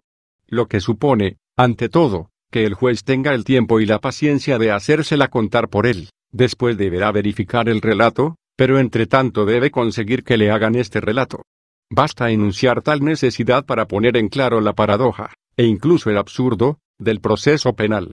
En realidad, el juez no tiene la paciencia, y si la tuviese no dispondría del tiempo necesario, para escuchar la historia del imputado ni siquiera en sus aspectos más importantes, y si la escuchase en cuanto a esos aspectos, todavía no habría escuchado la historia verdadera, porque la historia verdadera está formada también por las cosas pequeñas, las cuales, para el conocimiento de un hombre, cuentan mucho más que las grandes, he advertido ya, por lo demás que la diferencia entre lo grande y lo pequeño no es más que un efecto de la limitación de los sentidos y de la inteligencia del hombre, y tanto más es imposible el oficio de historiador, que la ley asigna al juez, en cuanto a escuchar la historia del imputado exige, en primer lugar, que se supere su desconfianza, primera condición para un relato sincero, y la desconfianza no se vence más que con la amistad, la cual, entre el juez y el imputado, en la mayor parte de los casos, es un sueño. Si se agrega que el relato, naturalmente, debería ser objeto de comprobación, y que así la investigación asumiría en cada proceso dimensiones imponentes, es fácil concluir que el cometido histórico del juez penal, en cuanto se refiere al desenvolvimiento espiritual, que conduce al delito, es, en la mejor de las hipótesis, burdamente aproximativa. No se ha de creer que el ambiente de los juristas haya permanecido insensible a este escándalo. Hace ya mucho tiempo que los juristas se han dado cuenta de que para el juicio penal es necesario, además de conocer el hecho, conocer al hombre, y conocer al hombre no es posible sin reconstruir su historia, la disposición que he recordado hace un momento ha sido introducida por mérito de la ciencia en el Código Penal italiano, y se han dado cuenta además los juristas de que los medios de que dispone el juez para conocer al hombre son absolutamente inadecuados. Por eso, últimamente se ha manifestado un movimiento dirigido a procurarle la ayuda de un experto en psicología. También este será, desde luego, un paso adelante, cuando se pueda dar, pero no se debe atribuir a la psicología capacidad y méritos mayores de los que ella posee. Los límites de la psicología son los límites de la ciencia, esto es, poco más o menos, los límites del análisis, aun cuando la materia haya sido removida hasta sus más íntimos rincones, no es de este modo como se puede captar el secreto de la vida, y el secreto del espíritu es el secreto de la vida. Todo lo que puede hacer el psicólogo es algo análogo a lo que hace el estudioso de anatomía sobre el cuerpo del hombre, pero el espíritu es, esencialmente, unidad. No el camino de la psicología, sino el de la amistad puede conducir al hombre al corazón del otro hombre, y ese camino, desgraciadamente, le está cerrado al juez. Estas cosas os las digo no para excitaros a despreciar el proceso penal y los hombres que han construido y que maniobran su dispositivo, estos hombres han tenido y tienen todavía sus culpas, que no deben ser ocultadas, pero que tampoco se deben exagerar, sobre todo debemos reconocer que son pobres también ellos, como nosotros, y que las cosas perfectas nadie las sabe hacer. En el fondo, el escándalo no está en los hombres sino en las cosas. Es el proceso penal, en sí, la pobre cosa a la cual está asignado un cometido demasiado alto para poder ser cumplido. Esto no quiere decir que se pueda prescindir de él, pero si hemos de reconocer su necesidad, debe reconocerse igualmente su insuficiencia. En esto está verdaderamente una condición de la civilidad, la cual exige que se trate con respeto no solo al juez sino también al que ha de ser juzgado e incluso al condenado. Nos debemos contentar, desgraciadamente, con la historia del imputado, como el juez la puede hacer, pero no debemos fundar sobre ella nuestro juicio y, sobre todo, nuestro desprecio, tanto más que la historia del individuo, como el juez la puede hacer, por la naturaleza misma del proceso penal, es una historia irremediablemente incompleta. Un hombre es, desde luego, su historia, pero su historia está compuesta no solo por su pasado sino también por su futuro. Yo soy no solo lo que he sido sino también lo que seré. El presente es síntesis del pasado y del futuro. Esto es tan cierto que el propio Código Penal quiere que el juez tenga en cuenta la conducta del reo tanto anterior como subsiguiente al delito. Pero el juez, forzosamente, debe detener la historia, si no en el momento del delito, en el momento del juicio, lo que viene después no lo puede tener en cuenta porque no lo puede adivinar. Sin embargo, aun cuando ignorado, también el futuro es real. El juicio, para ser justo, debería tener en cuenta no solamente el mal que uno ha hecho, sino también el bien que hará, no solamente su capacidad para delinquir, sino también su capacidad para redimirse. Pero a fin de que este juicio, que para ser justo debe ser entero, pueda realizarse, Debería hacerse después que el hombre ha terminado su vida. No se pueden obtener las sumas de un balance, diría un hombre de negocios, más que al fin del ejercicio. Tal es la razón por la cual el proceso de beatificación se hace por la Iglesia sobre el muerto, no sobre el vivo. Hay siempre tiempo, mientras se alienta, para que un canalla se convierta en santo o un santo en canalla, valga el ejemplo evangélico del ladrón crucificado. En cambio, al contrario de lo que ocurre con el proceso de beatificación, el proceso penal debe hacerse durante la vida.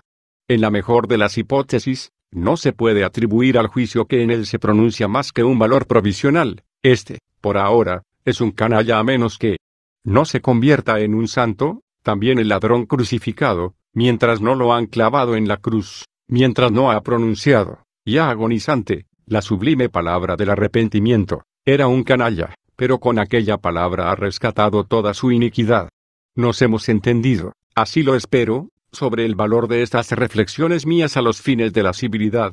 Yo no tengo la menor intención de desacreditar el proceso penal más allá de los límites en que su imperfección podría ser eliminada con un poco más de atención y de buena voluntad. Sin embargo, la civilidad exige que no se le atribuya un valor del que no tanto carece cuanto no puede llegar a tener.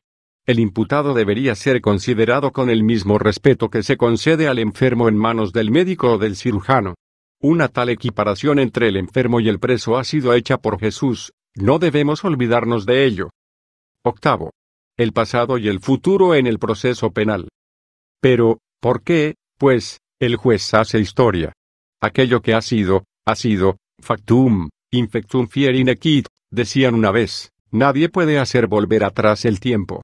Ninguno, ni siquiera Dios, ha dicho un día, en polémica conmigo, nada menos que un doctísimo religioso, y a mí me ha parecido una blasfemia, aun cuando inconsciente. Pero dejemos estar este tema porque, si volviéramos sobre él, se perdería el hilo del discurso. Agua pasada no mueve molino. Una gran tentación emana de este proverbio, en absoluto la desesperación. No hay, pues, remedio para el pasado? Si no fuese así, ¿por qué se haría el proceso penal? Una oscura intuición ha llevado siempre a los hombres a creer que exista un remedio. El delito es un desorden y el proceso sirve para restaurar el orden. Esta es la intuición. Pero, ¿cómo se forma el orden en lugar del desorden? La verdad intuida es que el remedio al pasado está en el futuro. No otra cosa que esta verdad intuida guía a los hombres a reconstruir la historia. En un tiempo esta intuición habla encontrado su fórmula, cuando se decía que la historia es maestra de la vida. Actualmente no se dice ya, y parece un paso adelante en el camino del saber. También el camino del saber, como todos los caminos que conducen hacia lo alto, tiene sus falsos planos y sus trayectos en descenso, es cierto que habiendo perdido, por decir así, el contacto entre el pasado y el futuro, nos hemos alejado, más que aproximado, de la cima. Quizá uno de los caracteres de la crisis es precisamente este, que denominaría el desinterés por el futuro.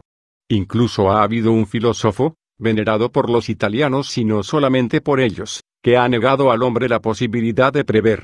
Pocas responsabilidades de la filosofía son más graves que esta, la ceguera de estos pretendidos conductores de hombres, los cuales no saben que el único problema del hombre es el problema del futuro. Hace venir a la mente las palabras del Evangelio, ¿cómo puede un ciego guiar a otro ciego, sin que uno y otro se precipiten en el foso?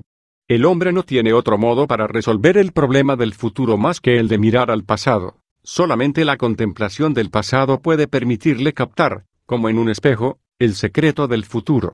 Si estos hubiesen sabido desmontar, como hace un mecánico con una máquina, el prodigioso mecanismo del pensamiento, habrían comprendido, al menos, cuál es la virtud de la memoria, custodio del pasado, desde el cual la inteligencia inicia el vuelo hacia el futuro.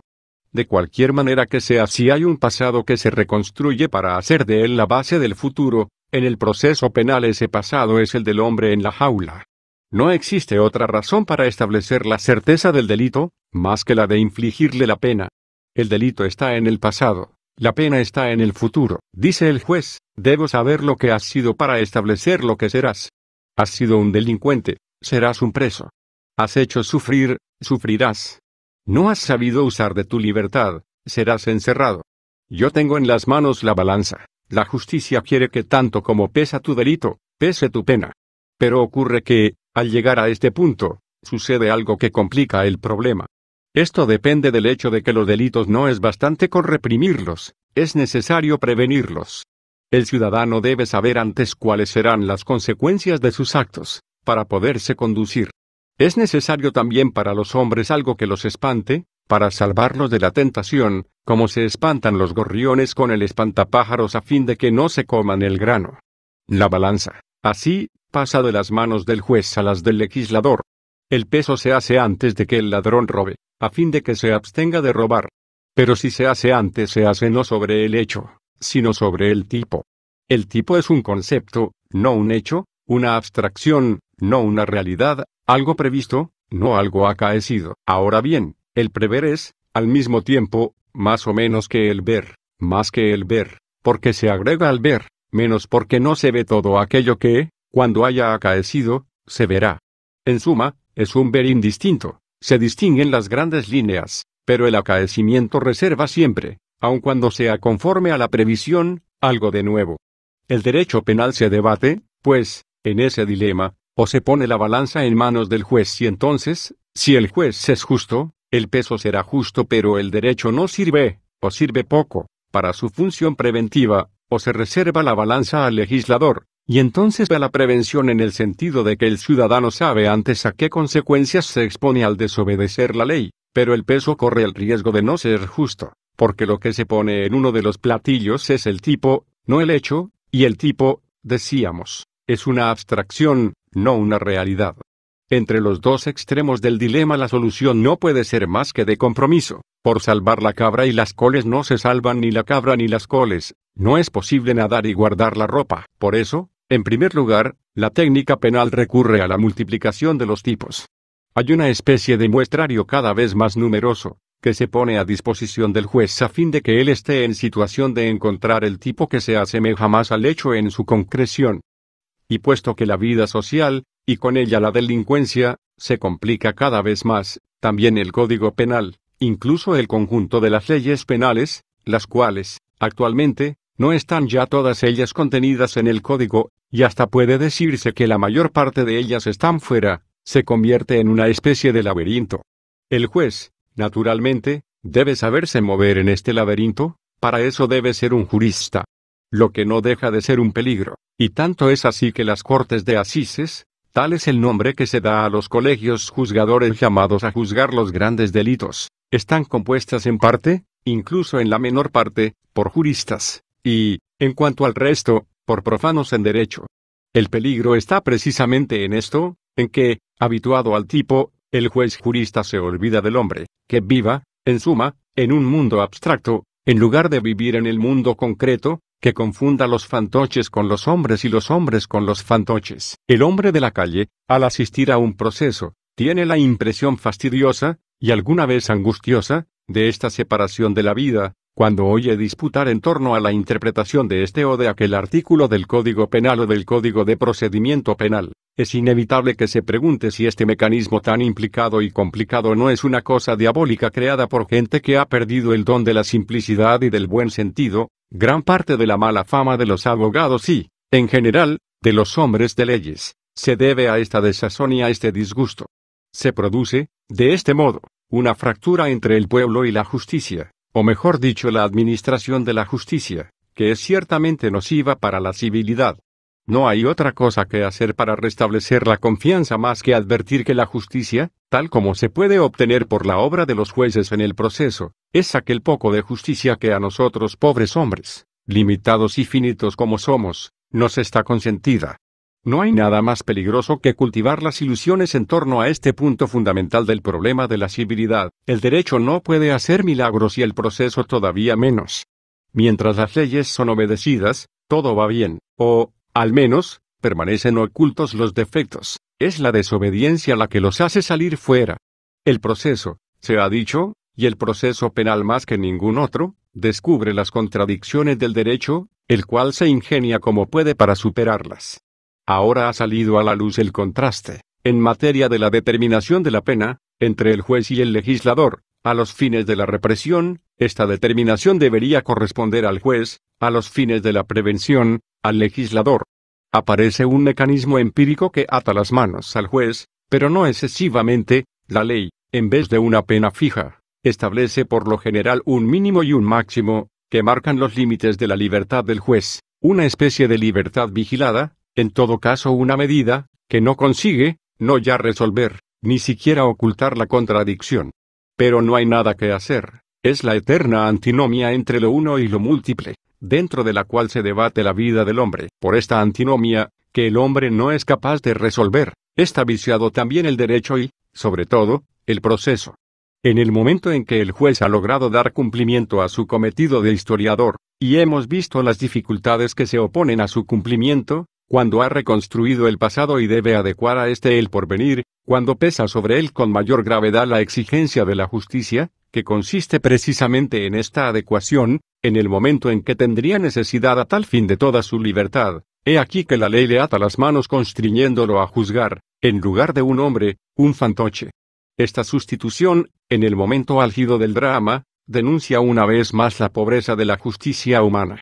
Hay, entre otros, casos en los que es claro que ha bastado el proceso, o mejor aquella fracción del proceso que se ha desarrollado para reconstruir la historia, con todos sus sufrimientos, con todas sus angustias, con todas sus vergüenzas, para asegurar el porvenir del culpable en el sentido de que ha comprendido su error y no solo lo ha comprendido, sino que, con aquel peso de sufrimiento, de angustia, de vergüenza, lo ha expiado, y el resto del proceso, su prolongación por la condena y con la ejecución de ella no es otra cosa que una pérdida total para el individuo y para la sociedad. Si el juez fuese libre, estos son los casos en que diría como Jesús a la adúltera, ve y no peques más, pero tiene desgraciadamente, atadas las manos. No se debe protestar contra la ley. ¿De acuerdo? En cuanto a esto, no se puede protestar contra la necesidad, pero no se puede ocultar que derecho y proceso son una pobre cosa y es esto verdaderamente, lo que se necesita para hacer avanzar la civilidad. Noveno. La sentencia penal. Reconstruida la historia, aplicada la ley, el juez absuelve o condena. Dos palabras que se oye pronunciar continuamente, pero cuyo significado profundo es necesario descubrir. Deberían querer decir, el imputado es inocente o culpable. El juez debe, sin embargo, escoger entre el no del defensor y el sí del Ministerio Público. Pero, ¿y si no puede escoger? Para escoger debe haber una certeza, en sentido negativo o en sentido positivo, y si no la hay, las pruebas deberían servir para iluminar el pasado, donde antes había oscuridad, y si no sirven, entonces dice la ley, el juez absuelve por insuficiencia de pruebas. ¿Y qué quiere decir eso? No que el imputado es culpable, pero tampoco que es inocente. Cuando es inocente, el juez declara que no ha cometido el hecho o que el hecho no constituye delito. El juez dice que no puede decir nada, en estos casos. El proceso se cierra con un nada de hecho. Y parece la solución más lógica de este mundo.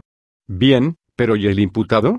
Que uno sea imputado quiere decir que probablemente, ya que no ciertamente, ha cometido un delito. El proceso o, mejor, el debate sirve, precisamente, para resolver la duda.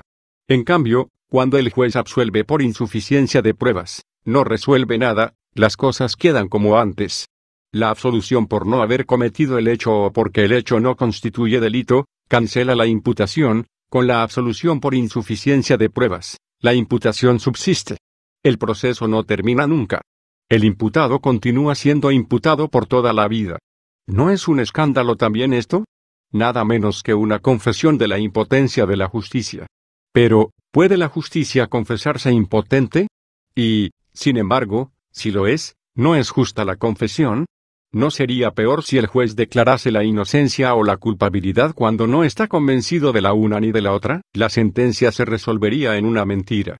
El proceso llega así a un callejón sin salida, del cual no es posible escapar. O mentir o declarar la quiebra, una vía intermedia no existe.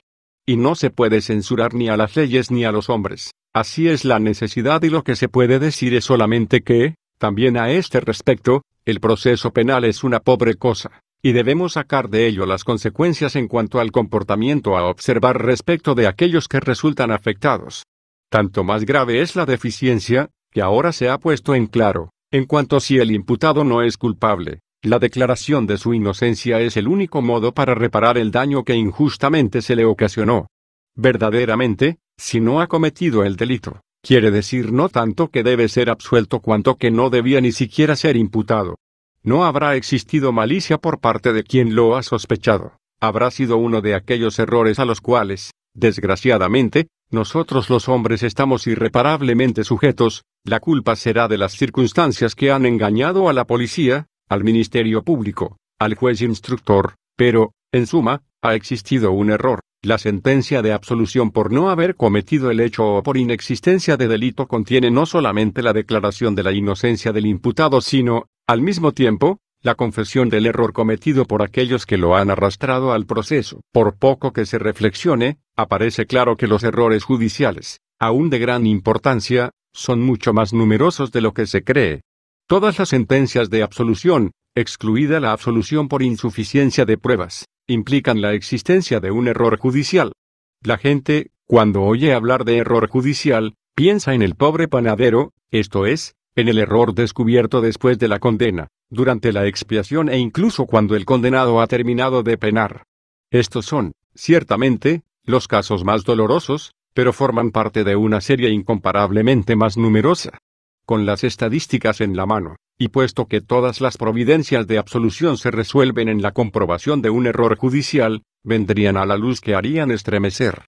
La gente, cuando el juez absuelve, especialmente en los procesos célebres, ensalza a la justicia, y tiene razón, porque es siempre una fortuna y un mérito darse cuenta del error, pero entre tanto el error ha ocasionado sus daños y qué daños.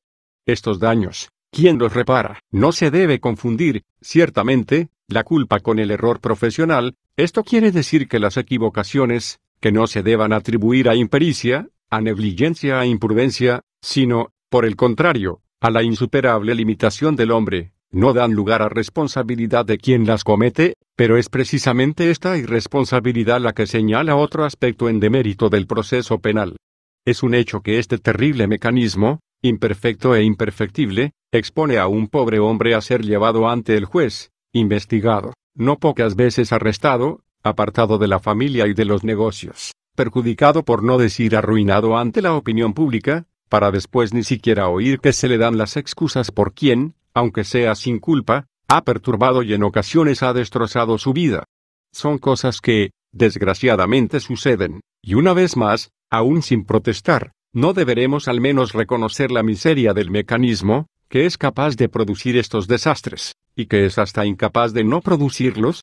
Menos mal cuando el error es reconocido relativamente pronto, antes del debate, con la absolución por parte del juez instructor, a lo más, al final del debate de primer grado. Pero no son raros los casos en los cuales, después de una primera condena, la absolución llega más tarde, al final de un vía crucis, que no es raro dure algunos años. Aquel diplomático italiano, que fue acusado de haber matado a la mujer en Tailandia, ha pasado 14 años en prisión preventiva antes de que, con la absolución pronunciada, hace tiempo, por la Corte de Apelación de Bolonia, se haya reconocido su inocencia. Es pues, precisamente la hipótesis de la absolución la que descubre la miseria del proceso penal, el cual, en tal caso, tiene el único mérito de la confesión del error. El error del cual la gente no se da cuenta, y no solo los hombres de la calle, sino incluso los expertos del derecho, no conozco un jurista, con excepción de quien nos habla, que haya advertido que toda sentencia de absolución es el descubrimiento de un error. De este modo, o por negligencia o por falso pudor, se ocultan las miserias del proceso penal que deben, en cambio, ser conocidas y sufridas a fin de que se califique, como se debe, a la justicia humana. Por el contrario, cuando el juez está convencido de la culpabilidad del imputado, entonces condena. Pero, ¿y si se hubiese equivocado? La amenaza del error pende, como la espada de Damocles, sobre el proceso. Resuena, en el fondo de toda sentencia, la divina admonición, no juzguéis. La ley hace lo que puede para garantizar la sentencia contra el error. No se trata aquí de someter a una crítica las medidas que la ley toma a este respecto, y tampoco de describirlas, la gente sabe, poco más o menos que la sentencia de primer grado puede ser revisada por el juez de apelación, y la sentencia de apelación por la Corte de Casación, y no sería en absoluto útil explicar este mecanismo complicado y tampoco hacer observar sus graves y, después de todo, irremediables defectos. No se debe desconocer que, no obstante estos defectos, el mecanismo hasta un cierto punto sirve para garantizar el proceso contra el error, hasta el punto, aproximadamente, en que es posible, pero una garantía absoluta no se puede dar.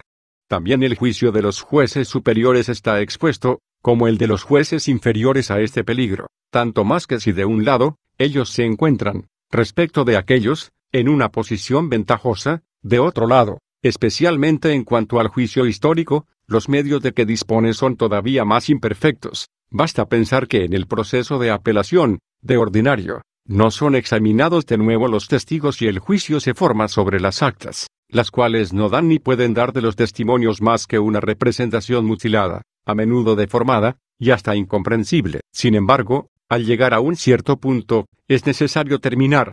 El proceso no puede durar eternamente. Es un final por agotamiento, no por obtención del objeto. Un final que se asemeja a la muerte más que al cumplimiento. Es necesario contentarse. Es necesario resignarse. Los juristas dicen que, al llegar a un cierto punto, se forma la cosa juzgada, y quieren decir que no se puede ir más allá. Pero dicen también, res judicata pro veritate abetur, la cosa juzgada no es la verdad, pero se considera como verdad. En suma, es un subrogado de la verdad. Estas cosas, que los juristas saben, también los demás las deben saber. Después de todo, es fácil que, con aquel aparato solemne de la cátedra, de las togas, de la jaula, de los penachos de los carabineros detrás del presidente, del Ministerio Público que acusa, de los abogados que defienden, del público que asiste tenso y apasionado, aquellos se hagan la ilusión de que la que sale de los labios de los jueces, al final, sea la verdad. Y puede también ocurrir que sea la verdad. Sin embargo, nadie lo sabe, puede ser así, pero puede también no serlo. En Asis, un día, Hablando del preso, lo he definido con estas palabras, uno que puede ser culpable. He tenido la impresión de que quienes me escuchaban hayan quedado horrorizados. Pero son las cosas que se deben saber a los fines de la civilidad. Décimo. El cumplimiento de la sentencia. Como quiera que sea, absolución o condena, el proceso termina cuando el juez ha dicho la última palabra. También esta es una impresión, al menos en parte, falaz. Termina, es cierto, con la absolución, quiero decir, cuando la absolución se convierta en cosa juzgada. Y dejemos estar si es justo que ocurra así, es siempre posible que más tarde surjan nuevas pruebas, de las cuales resulte con certeza que el imputado absuelto era culpable, el por qué, en este caso, él debía gozar de la impunidad. Es algo que difícilmente se comprende, pero no es la crítica de la ley lo que yo quiero hacer desde este púlpito. En cambio, en el caso de condena, el proceso no termina en absoluto. Cuando se trata de condena, nunca está dicha la última palabra, el imputado absuelto, aun cuando surjan nuevas pruebas contra él, está actualmente, bien o mal, aseguro, pero el condenado, en ciertos casos, y dejemos estar, también aquí la crítica de la ley, que es igualmente, en este aspecto, muy imperfecta, tiene derecho a la revisión o sea, con muchas cautelas, a la reapertura del proceso, como quiera que sea, y aún prescindiendo de esta reviviscencia, la condena no significa en absoluto el final del proceso, quiere decir, por el contrario y a diferencia de la absolución, que el proceso continúa, solamente que su sede se transfiere del tribunal a la penitenciaría. Lo que se debe entender es que también la penitenciaría está comprendida, con el tribunal, en el Palacio de Justicia. Es una idea esta que nada tiene de clara aún en la mente de los juristas, pero debe ser aclarada en interés de la civilidad. Incluso aquí se presenta el nudo del problema en el terreno de la civilidad. Le ocurre a la gente, incluidos los juristas, en cuanto a la condena, algo de análogo a lo que ocurre cuando un hombre muere, el pronunciamiento de la condena, con el aparato que todos conocen, más o menos, es una especie de funeral, terminada la ceremonia, una vez que el imputado sale de la jaula y lo toman en su poder los carabineros, se reanuda para cada uno de nosotros la vida cotidiana y, poco a poco, en el muerto no se piensa más. Bajo un cierto aspecto se puede también asemejar la penitenciaría al camposanto, pero se olvida que el condenado es un sepultado vivo. No es necesario mucho para comprender que, en vez de camposanto, debería ser un hospital, pero basta haber entendido esto para descubrir el error de quien piensa que, con la condena, el proceso haya terminado. La condena, mirándolo bien, no es más que una diagnosis, ¿No es también la diagnosis un juicio? El médico cuando, al final de sus investigaciones, establece la existencia de la enfermedad, pronuncia también él una sentencia, y hasta una condena, también a él le ocurre, lo mismo que al juez, absolver o condenar, según que contemple en el paciente un sano o un enfermo. Pero, ¿a quién se le ocurre que el médico, con la diagnosis haya llenado su cometido? El juez, con la sentencia de condena, hace la diagnosis y prescribe la curación, también la curación, pues, es obra de justicia. ¿O es que tal obra debe detenerse cuando ha comprobado que alguno es un delincuente sin preocuparse de hacer todo cuanto es posible a fin de que se convierta en un hombre honrado? La penitenciaría es, verdaderamente, un hospital, lleno de enfermos del espíritu, en lugar de enfermos del cuerpo, y, alguna vez, también del cuerpo, pero qué hospital tan singular. En el hospital, antes que nada, el médico, cuando se da cuenta de que la diagnosis es equivocada, la corrige y rectifica la curación. En la penitenciaría, en cambio, está prohibido actuar así. No es un hospital, donde no existan médicos ni enfermeras. El director de la penitenciaría y los otros, que le ayudan en la dirección, no están desprovistos en absoluto de aquellos conocimientos que puedan servir para el conocimiento de sus enfermos, y a menudo atienden a ello con inteligencia, con paciencia y hasta con abnegación. Sin embargo, a estos médicos la diagnosis del juez les está impuesta con la autoridad, precisamente, de la cosa juzgada, la experiencia de la marcha de la enfermedad no cuenta para nada. El juez ha dicho 10, 20, 30 años, y 10, 20, 30 deben ser, aun cuando la experiencia demuestre que son demasiados o que son demasiado pocos porque, aún antes del período establecido, el enfermo ha recuperado la salud o bien, por el contrario, el período ha transcurrido inútilmente. Dicen, fácilmente, que la pena no sirve solamente para la redención del culpable, sino también para la admonición de los otros, que podrían ser tentados a delinquir y que por eso se los debe asustar. Y no es este un discurso que deba tomarse a broma, pues al menos deriva de él la conocida contradicción entre la función represiva y la función preventiva de la pena, lo que la pena debe ser para ayudar al culpable no es lo que debe ser para ayudar a los otros. Y no hay, entre estos dos aspectos del instituto, posibilidad de conciliación. Lo menos que se puede concluir de ello es que el condenado, el cual, aun habiendo quedado redimido antes del término fijado para la condena, continúa en prisión porque debe servir de ejemplo a los otros, es sometido a un sacrificio por interés ajeno, éste se encuentra en la misma línea que el inocente, sujeto a la condena por uno de aquellos errores judiciales que ningún esfuerzo humano conseguirá nunca eliminar. Bastaría para no asumir frente a la masa de los condenados aquel aire de superioridad que desgraciadamente, más o menos, el orgullo, tan profundamente anidado en lo más íntimo de nuestra alma, inspira a cada uno de nosotros, ninguno, verdaderamente sabe, en medio de ellos, quién sea o no sea culpable y quién continúe o no continúe siendo, como quiera que sea, aun cuando la pena debe servir para asustar a los otros, debería al mismo tiempo servir para redimir al condenado, y redimirlo quiere decir curarlo de su enfermedad. A cuyo fin se debería saber en qué consiste su enfermedad. Aquí las cosas que se han de decir son las más simples y las más amargas, mientras la medicina del cuerpo ha realizado progresos maravillosos, la medicina del espíritu se encuentra todavía en un estadio infantil. Cristo, hasta ahora, sobre este tema, ha predicado en el desierto. Al colocar al preso, junto al enfermo, en la cima de la escala de los pobres. Él ha dicho bien claro que la delincuencia es una forma de pobreza, al hambriento le falta la comida, el agua al sediento, el vestido al desnudo, la casa al vagabundo, la salud al enfermo. ¿Qué es lo que le falta? Pues, al preso. Cristo, al invitarnos a visitarlo, ha hablado claro. La visita es un acto de amistad.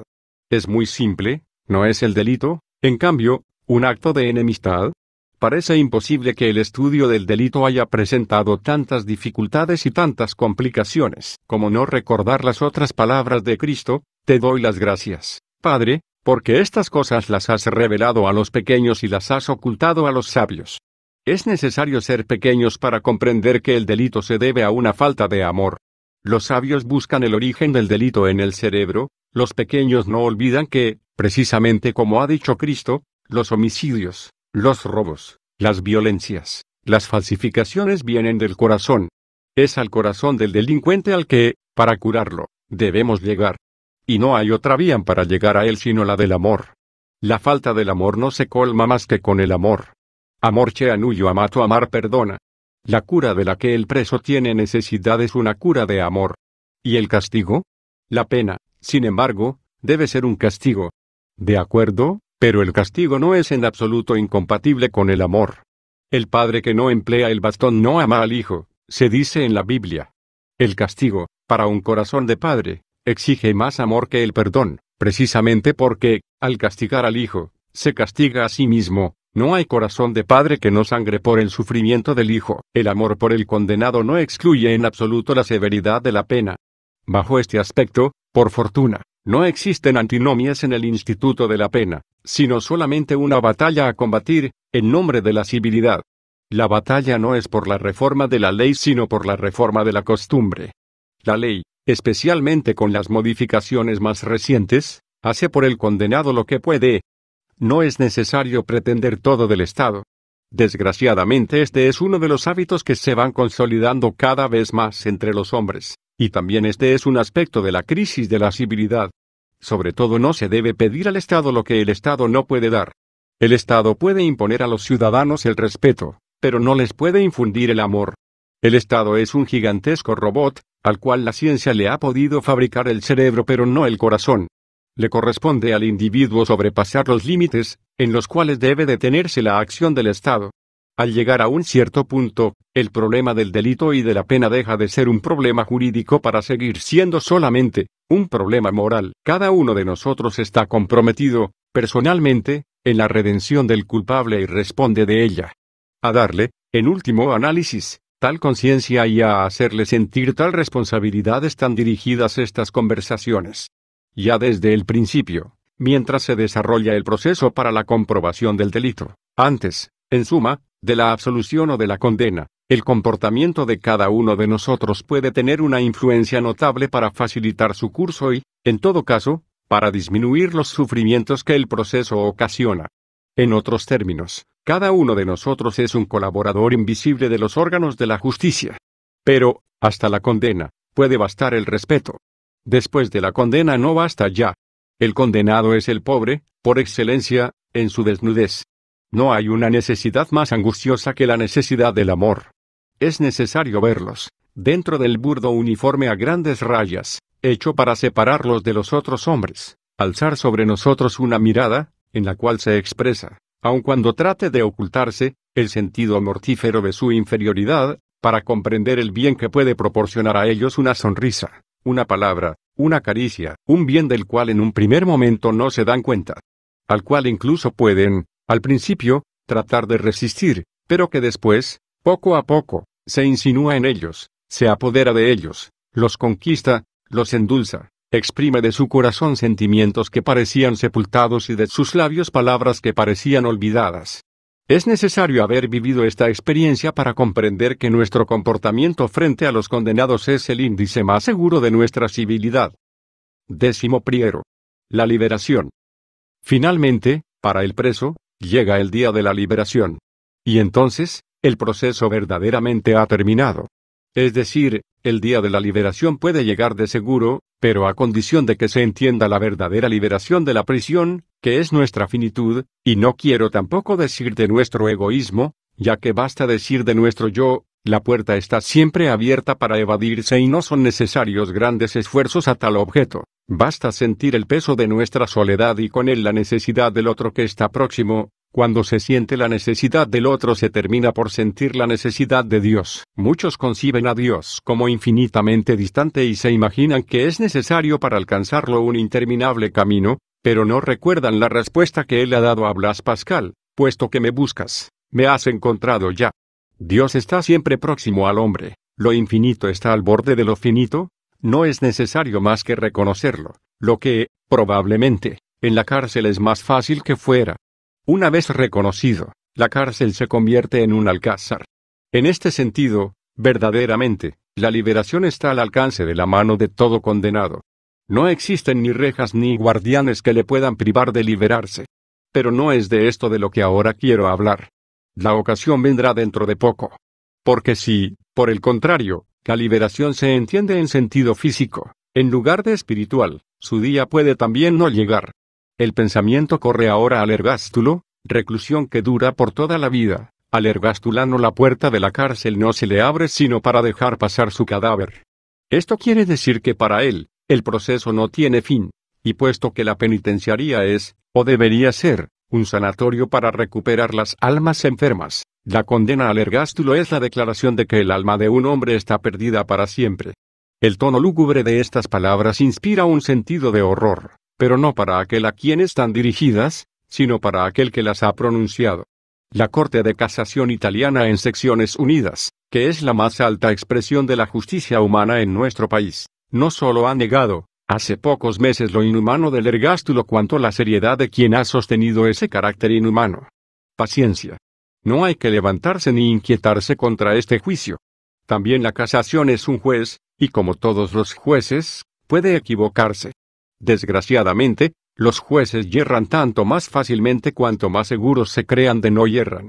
Mientras el magisterio de la Iglesia, si con el proceso de beatificación declara la certeza de elevación de un santo al paraíso, no conoce un proceso dirigido a verificar el precipicio de un réprobo al infierno, y los teólogos, temerosos de escrutar en el corazón de los hombres y más aún en el corazón de Dios, no osan afirmar la condena al infierno ni siquiera de Judas, la magistratura italiana, por la voz de su órgano más insigne, ha declarado conforme a la humanidad el que un hombre sea condenado para toda la vida, esto es, que la pena de la reclusión, como la del infierno, no tenga nunca fin. Si fuera necesario una prueba más de la miseria del proceso, la misma nos ha sido proporcionada. Pero también para los reclusos no condenados al ergástulo, puede ocurrir que no llegue el día en que salgan vivos, de la prisión. Un terrible aspecto de la condena a la reclusión, aun por un período breve, es este de que nadie está seguro de no morir dentro de aquel período. Esto basta para decir que el proceso penal, el cual no cesa con la condena sino que sigue con la expiación, puede durar hasta la muerte. La eventualidad de la muerte en la cárcel es el riesgo más grave del encarcelamiento. Y no porque una interpretación benévola de la disciplina carcelaria no consienta al moribundo el último saludo de sus seres queridos, sino porque aquel morir le trunca la esperanza del retorno al consorcio humano. Esta, la esperanza de entrar de nuevo en el consorcio humano, de despojarse finalmente del horrible uniforme, de asumir de nuevo el aspecto del hombre libre, de retomar su puesto en la sociedad, es el oxígeno que alimenta al preso. Desde el momento en que ha entrado en la prisión, esta es la razón de su vida. En privarlo de ella, está lo inhumano de la condena por toda la vida. El condenado a ergástulo no tiene ni siquiera la conformación de contar los días. Y la de contar los días es la vida del preso. Pero, desgraciadamente, en la mayor parte de los casos también este esperar es falaz. El proceso, sí, con la salida de la prisión está terminado. Pero la pena, no, quiero decir el sufrimiento y el castigo. Se puede pensar, especialmente en cuanto a las condenas de larga duración, en las dificultades ocasionadas al liberado de la cárcel por el cambio de las costumbres, de las relaciones interrumpidas, de los ambientes modificados. Todo esto no puede dejar de determinar una crisis, que podría también llamarse la crisis del renacimiento. Si no fuese porque esto, sin embargo, sería poca cosa. Por el contrario, en la mayor parte de los casos, no se trata de una crisis. La cuestión es mucho más grave. El preso, al salir de la prisión, cree no ser ya un preso, pero la gente, no, para la gente él es siempre un preso, un encarcelado, a lo más, se dice excarcelado. En esta fórmula está la crueldad y está el engaño. La crueldad está en pensar que, tal como uno ha sido, debe continuar siendo. La sociedad clava a cada uno a su pasado. El rey, aun cuando según el derecho no sea ya rey, es siempre rey, y el deudor, aun cuando haya pagado su deuda, es siempre deudor. Este ha robado, lo han condenado por esto, ha cumplido su pena, pero. En ese pero, decía, está la crueldad y está el engaño. Pero podría robar todavía, ergo, yo no le doy trabajo. Así razona la gente. Y nada cuenta que, al razonar así, ante todo, en lugar de razonarse aparte de todo razonamiento, si razonase, se daría cuenta de que no ya el futuro depende del pasado, sino el pasado del futuro, si esto no fuese verdad, se negaría la redención e incluso la resurrección. La fórmula del ex resulta sacrílega precisamente por esto. Pero los hombres, que lo ven todo al revés, continúan estando persuadidos de que cada uno seguirá siendo como ha sido, y no la gente vulgar solamente, sino también los hombres de gran cultura, e incluso aquellos que hacen profesión de cristianismo. De cualquier manera, y aunque este fuese un razonar justo, olvidarían ellos que, cuando se llega a un cierto punto, no basta razonar, la razón es necesaria, pero no es suficiente. Si no existiese más que la razón, no existiría la caridad. La caridad, esencialmente, es locura. Si San Francisco hubiese razonado, ¿habría nunca besado al leproso, con el riesgo de contraer el contagio? Ciertamente, eso de tomar a su servicio un ex ladrón en el propio establecimiento o en la propia casa, es un riesgo, podría estar pero también podría no estar curado. El riesgo de la caridad. Y la gente razonable trata de evitar los riesgos. Indubis abstine. Así el ex ladrón queda sin trabajo. Llama a esta puerta, llama a aquella otra, son todas personas razonables las que podrían darle el modo de ganarse el pan. Estas personas razonables quieren quedar garantizadas, para su garantía, ¿no se ha instituido el certificado penal? Fuera, pues, el certificado penal. El ex ladrón, así, está marcado en la frente. ¿Quién ha de darle trabajo a las ilusiones de la cárcel, cuando se contaban ansiosamente los días que faltaban para la liberación? ¿El Estado? El Estado es un ser razonable también. Cuando se trata de proclamar los principios, especialmente en régimen de democracia, el Estado es el primero en dar el ejemplo, el imputado no es considerado culpable mientras no sea condenado por sentencia definitiva, Italia es una república fundada sobre el trabajo. La república tutela el trabajo en todas sus formas. Pero cuando se trata de tutelar sus intereses, también el Estado arruga la frente. Un empleado público está bajo la sospecha de haberse apropiado de los fondos del erario y es sometido a proceso penal. Puede ocurrir que no sea cierto, puede también tratarse de poca cosa, puede ser que él se haya encontrado cargado de familia, en los tiempos que corren, en una situación desesperada. Puede ser, pero la ley es la ley, mientras tanto, suspendido de empleo y sueldo hasta la sentencia definitiva, la Constitución lo considera todavía inocente, pero un inocente que no tiene ya derecho a ganarse el pan. Se sigue el proceso y se le infligen tres años de reclusión, si este es su castigo, una vez transcurridos, debería volver a ser aquello que era antes. En cambio, no, el empleo queda definitivamente perdido, para él, la salida de la cárcel es el principio en vez del final de un calvario. Un maestro, afectado por una condena, no puede volver a trabajar como maestro, después de haberla cumplido.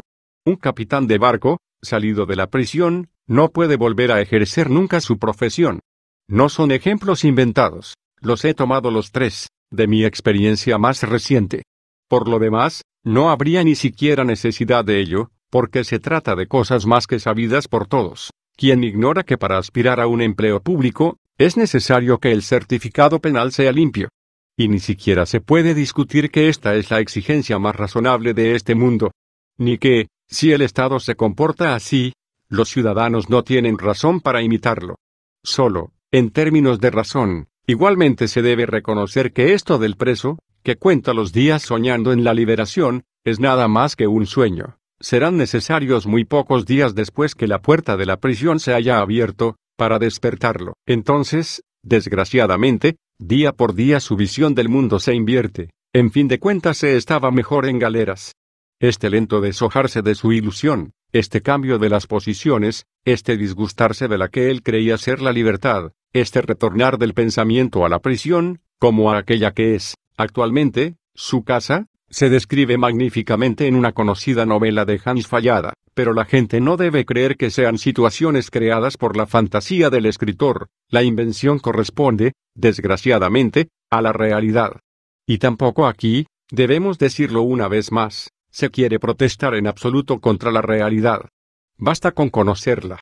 El resultado de haberla conocido es este, la gente cree que el proceso penal termina con la condena, y no es verdad. La gente cree que la pena termina con la salida de la cárcel, y no es verdad. La gente cree que el ergástulo es la única pena perpetua y no es verdad. La pena, si no propiamente siempre, en nueve de cada diez casos, no termina nunca. Quien ha pecado está perdido, Cristo perdona, pero los hombres no. Décimo segundo. Fin, más allá del derecho quizá ahora, al final de estos coloquios, se haya comprendido más claramente de lo que podía comprenderse al principio de ellos, el valor que tiene el problema penal para la civilidad. Civilidad, humanidad, unidad son una sola cosa. Se trata de la posibilidad alcanzada por los hombres de vivir en paz. Todos nosotros tenemos un poco de ilusión de que los delincuentes son los que perturban la paz y de que la perturbación puede eliminarse separándolos de los otros, así el mundo se divide en dos sectores, el de los civiles, y el de los inciviles, una especie de solución quirúrgica del problema de la civilidad. Aquí la idea se expone, como ocurre siempre cuando se trata de simplificar la expresión, en términos paradójicos, pero no sería difícil demostrar que la idea corresponde exactamente al modo de pensar común, empírico, científico y hasta filosófico. Está bien, como se hace para distinguir a los inciviles de los civiles. El único medio para distinguir es el juicio, y es necesario hacer la experiencia amarga del juicio penal para comenzar a comprender la admonición de Jesús. Desgraciadamente, casi todas las palabras de Jesús son todavía incomprendidas. Esas palabras están demasiado cargadas de pensamiento para que nosotros pobres hombres, las podamos gustar. Ellas nos deslumbran como cuando se trata de mirar el sol.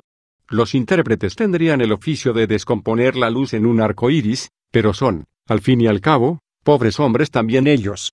Ciertamente, entre las proposiciones del Evangelio, una de las más paradójicas es el nolite iudicare. Todo el ordenamiento del derecho, cuya esencia es el juicio, y del proceso en particular, parece que contradiga a esa proposición.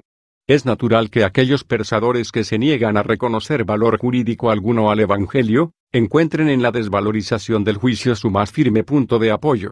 Pero bastaría un poco de experiencia penal para corregir sus ideas. Se ha dicho que el proceso es aquel instituto en el cual se manifiestan todas las deficiencias y las impotencias del derecho, se puede agregar que el penal es la especie que pone mejor de manifiesto las deficiencias y las impotencias del proceso. A medida que la experiencia del proceso penal se profundiza y se afina, se comienzan a apreciar, en el esplendor alucinante de la admonición divina, las líneas de la verdad. Por lo que a mí respecta debo a esta admonición el milagro de haber renacido. ¿Cómo se hace? Pues, para distinguir los inciviles de los civiles por medio del frágil juicio humano. La primera cosa que enseña la experiencia penal es que la penitenciaría no es diversa en absoluto del resto del mundo, tanto en el sentido de que la penitenciaría es un mundo como en el sentido de que también el resto del mundo es una gran casa de pena. Eso de que dentro de la penitenciaría haya solamente canallas y fuera de ellas solamente hombres honrados, no es más que una ilusión, como también es una ilusión el que un hombre pueda ser todo canalla o todo persona decente. Oralmente, el proceso penal, entendido en su más amplio sentido, comprensivo del tribunal y del reclusorio, es la más eficaz entre las escuelas de psicología, y, ¿por qué no?, también de filosofía. Es esta también una enseñanza de Jesús el cual no desdeñaba sentarse en el mismo banco con los publicanos y con las meretrices, ha sido una meretriz la que, en casa de Simón el fariseo, le ha procurado la alegría de su generosidad, de su devoción, de sus lágrimas, y ha sido un ladrón el que, mientras uno y otro sufrían sobre la cruz, ha esparcido el bálsamo de una palabra de misericordia sobre su corazón traspasado. Con esto no se niega la necesidad de separar, ya en esta vida, para usar todavía términos evangélicos, las ovejas de los cabritos, los buenos de los malos. Jesús mismo ha reconocido la necesidad de la ley y del Estado, pero toda necesidad es una insuficiencia. En estos coloquios no se ha querido desconocer que del derecho, del proceso, del tribunal, de la penitenciaría, no podemos prescindir, sin ellos, desgraciadamente, los hombres serían todavía peores de lo que son. El prejuicio, por no decir la superstición, contra la que se ha combatido, no es que el derecho sea necesario, sino que el derecho sea suficiente. De esta superstición, desgraciadamente, está impregnado el pensamiento moderno. También este es uno de los aspectos de la crisis de la civilidad. Todo se pide y todo se espera del Estado, o sea del derecho, no porque Estado y derecho sean la misma cosa, sino porque el derecho es el único instrumento del cual, en último análisis, el Estado se puede servir. Si es verdad que cada fase de la civilización tiene su ídolo, el ídolo de la que estamos atravesando es el derecho. Nos hemos convertido, en adoradores del derecho. Ahora bien, no existe una experiencia tan idónea como la experiencia penal para apartarse de esta idolatría. Las miserias del proceso penal son un aspecto de la miseria fundamental del derecho. Si he tratado de descubrirlas, El sentimiento que me ha guiado no ha sido el de desacreditar una institución, a la cual he dedicado toda mi vida, sino el de poner en guardia contra su apreciación exagerada. No se trata de desvalorizar el derecho, sino de evitar que sea supervalorado. En suma, de desengañar al hombre de la calle respecto de este punto, que baste tener buenas leyes y buenos jueces para alcanzar la civilidad. En fin de cuentas, lo que el derecho podría obtener aun cuando fuese construido y maniobrado del mejor modo posible, es que los hombres se respeten unos a otros. Pero el respeto no hace desaparecer la división, y es esta la que hay que superar. Mientras los hombres se juzgan, permanecen divididos. El respeto, en último análisis, se resuelve en lo mío y en lo tuyo, y también el juicio tiende a esta división. Juicio y respeto, aun cuando no lo parezca, son términos correlativos. Cuando el ex ladrón se presenta a mi puerta, no le falto al respeto si le respondo que no hay trabajo para él. La ilusión, y hasta la superstición que hay que desarraigar, es la de que, al obrar así, yo sea un hombre civil. Es necesario habituarse a establecer la diferencia entre el hombre jurídico y el hombre civil. Más allá del derecho es la expresión de la civilidad. También en este camino, que se abre más allá del derecho, es Cristo quien nos guía. Más allá del derecho o más allá del juicio, más allá del juicio o más allá del pensamiento, es la misma cosa. Cristo no se ha limitado a decir, no juzguéis, el relato de San Juan a este respecto completa el relato de San Mateo, no juzguéis es el precepto negativo de su enseñanza, amaos como yo os he amado es su aspecto positivo. Más allá de la justicia de los hombres está la caridad, justicia y caridad son todo uno solamente en Dios. Más allá del respeto está el amor, el amor, solamente, une. Pero es necesario reconocer que a los hombres no les resulta más fácil amar que juzgar, débil es en nosotros el juicio, pero débil también el amor. Si no hubiese existido esta debilidad, Cristo no habría tenido razón para venir sobre la tierra. En la mejor hipótesis, cada uno de nosotros tiene en el corazón una dosis mínima de amor. Cada uno de nosotros es un pabilo humeante, antes que en los otros es en nosotros donde la llama debe ser reavivada. Cristo nos ha enseñado que los pobres han venido al mundo para esto. Cuando en el discurso del juicio final, se ha identificado con ellos, diciendo que el bien que se hace al hambriento, al sediento, al desnudo, al peregrino, al enfermo, al preso se hace a él, ha identificado en el pobre un delegado de Dios. ¿Delegado a qué fin? Al fin, precisamente, de enseñarnos a amar. El viandante por el camino de Jericó ha sido agredido, depredado y golpeado por los ladrones, en la divina economía de la historia, para que el samaritano probase en él su compasión. De igual manera Marla Bauli, estaba agonizando ante la gruta de Maseville a fin de que Alexis Carrel abriese su mente a la omnipotencia de Dios. La compasión es el preludio del amor. También en la pobreza se manifiesta la diversidad, Sirena del mundo del discurso sobre el juicio final la clasifica, precisamente, en seis especies diversas. Entre estas la pobreza del preso es sin duda la que menos parece reclamar la caridad. El preso hay que admitirlo, repugna como el leproso. La suya es una pobreza oculta, en comparación con la del pobre y con la del enfermo. Según una observación superficial nadie llama pobre a un malvado. La cosa cambia de aspecto cuando la observación se hace más profunda y descubre en el malvado un necesitado de amor. Tal es el descubrimiento que permite hacer la experiencia penal, y es un descubrimiento fundamental para nuestra salvación. Vienen a la luz así las raíces de la pobreza y de la caridad. Cuando, a través de la compasión, he llegado a reconocer en el peor de los presos un hombre, como yo, cuando se ha disipado aquel humo que me permitía creer ser mejor que él, cuando he sentido posarse también sobre mis hombros la responsabilidad de su delito, cuando hace años, en una meditación del Viernes Santo, ante la cruz, he sentido gritar dentro de mí, Judas es tu hermano, entonces he comprendido no solo que los hombres no se pueden dividir en buenos y malos, sino que tampoco se pueden dividir en libres y presos, porque hay fuera de la cárcel prisioneros más prisioneros de los que están dentro de ella, y los hay, dentro de la cárcel, más libres cuando están en la prisión que los que están fuera.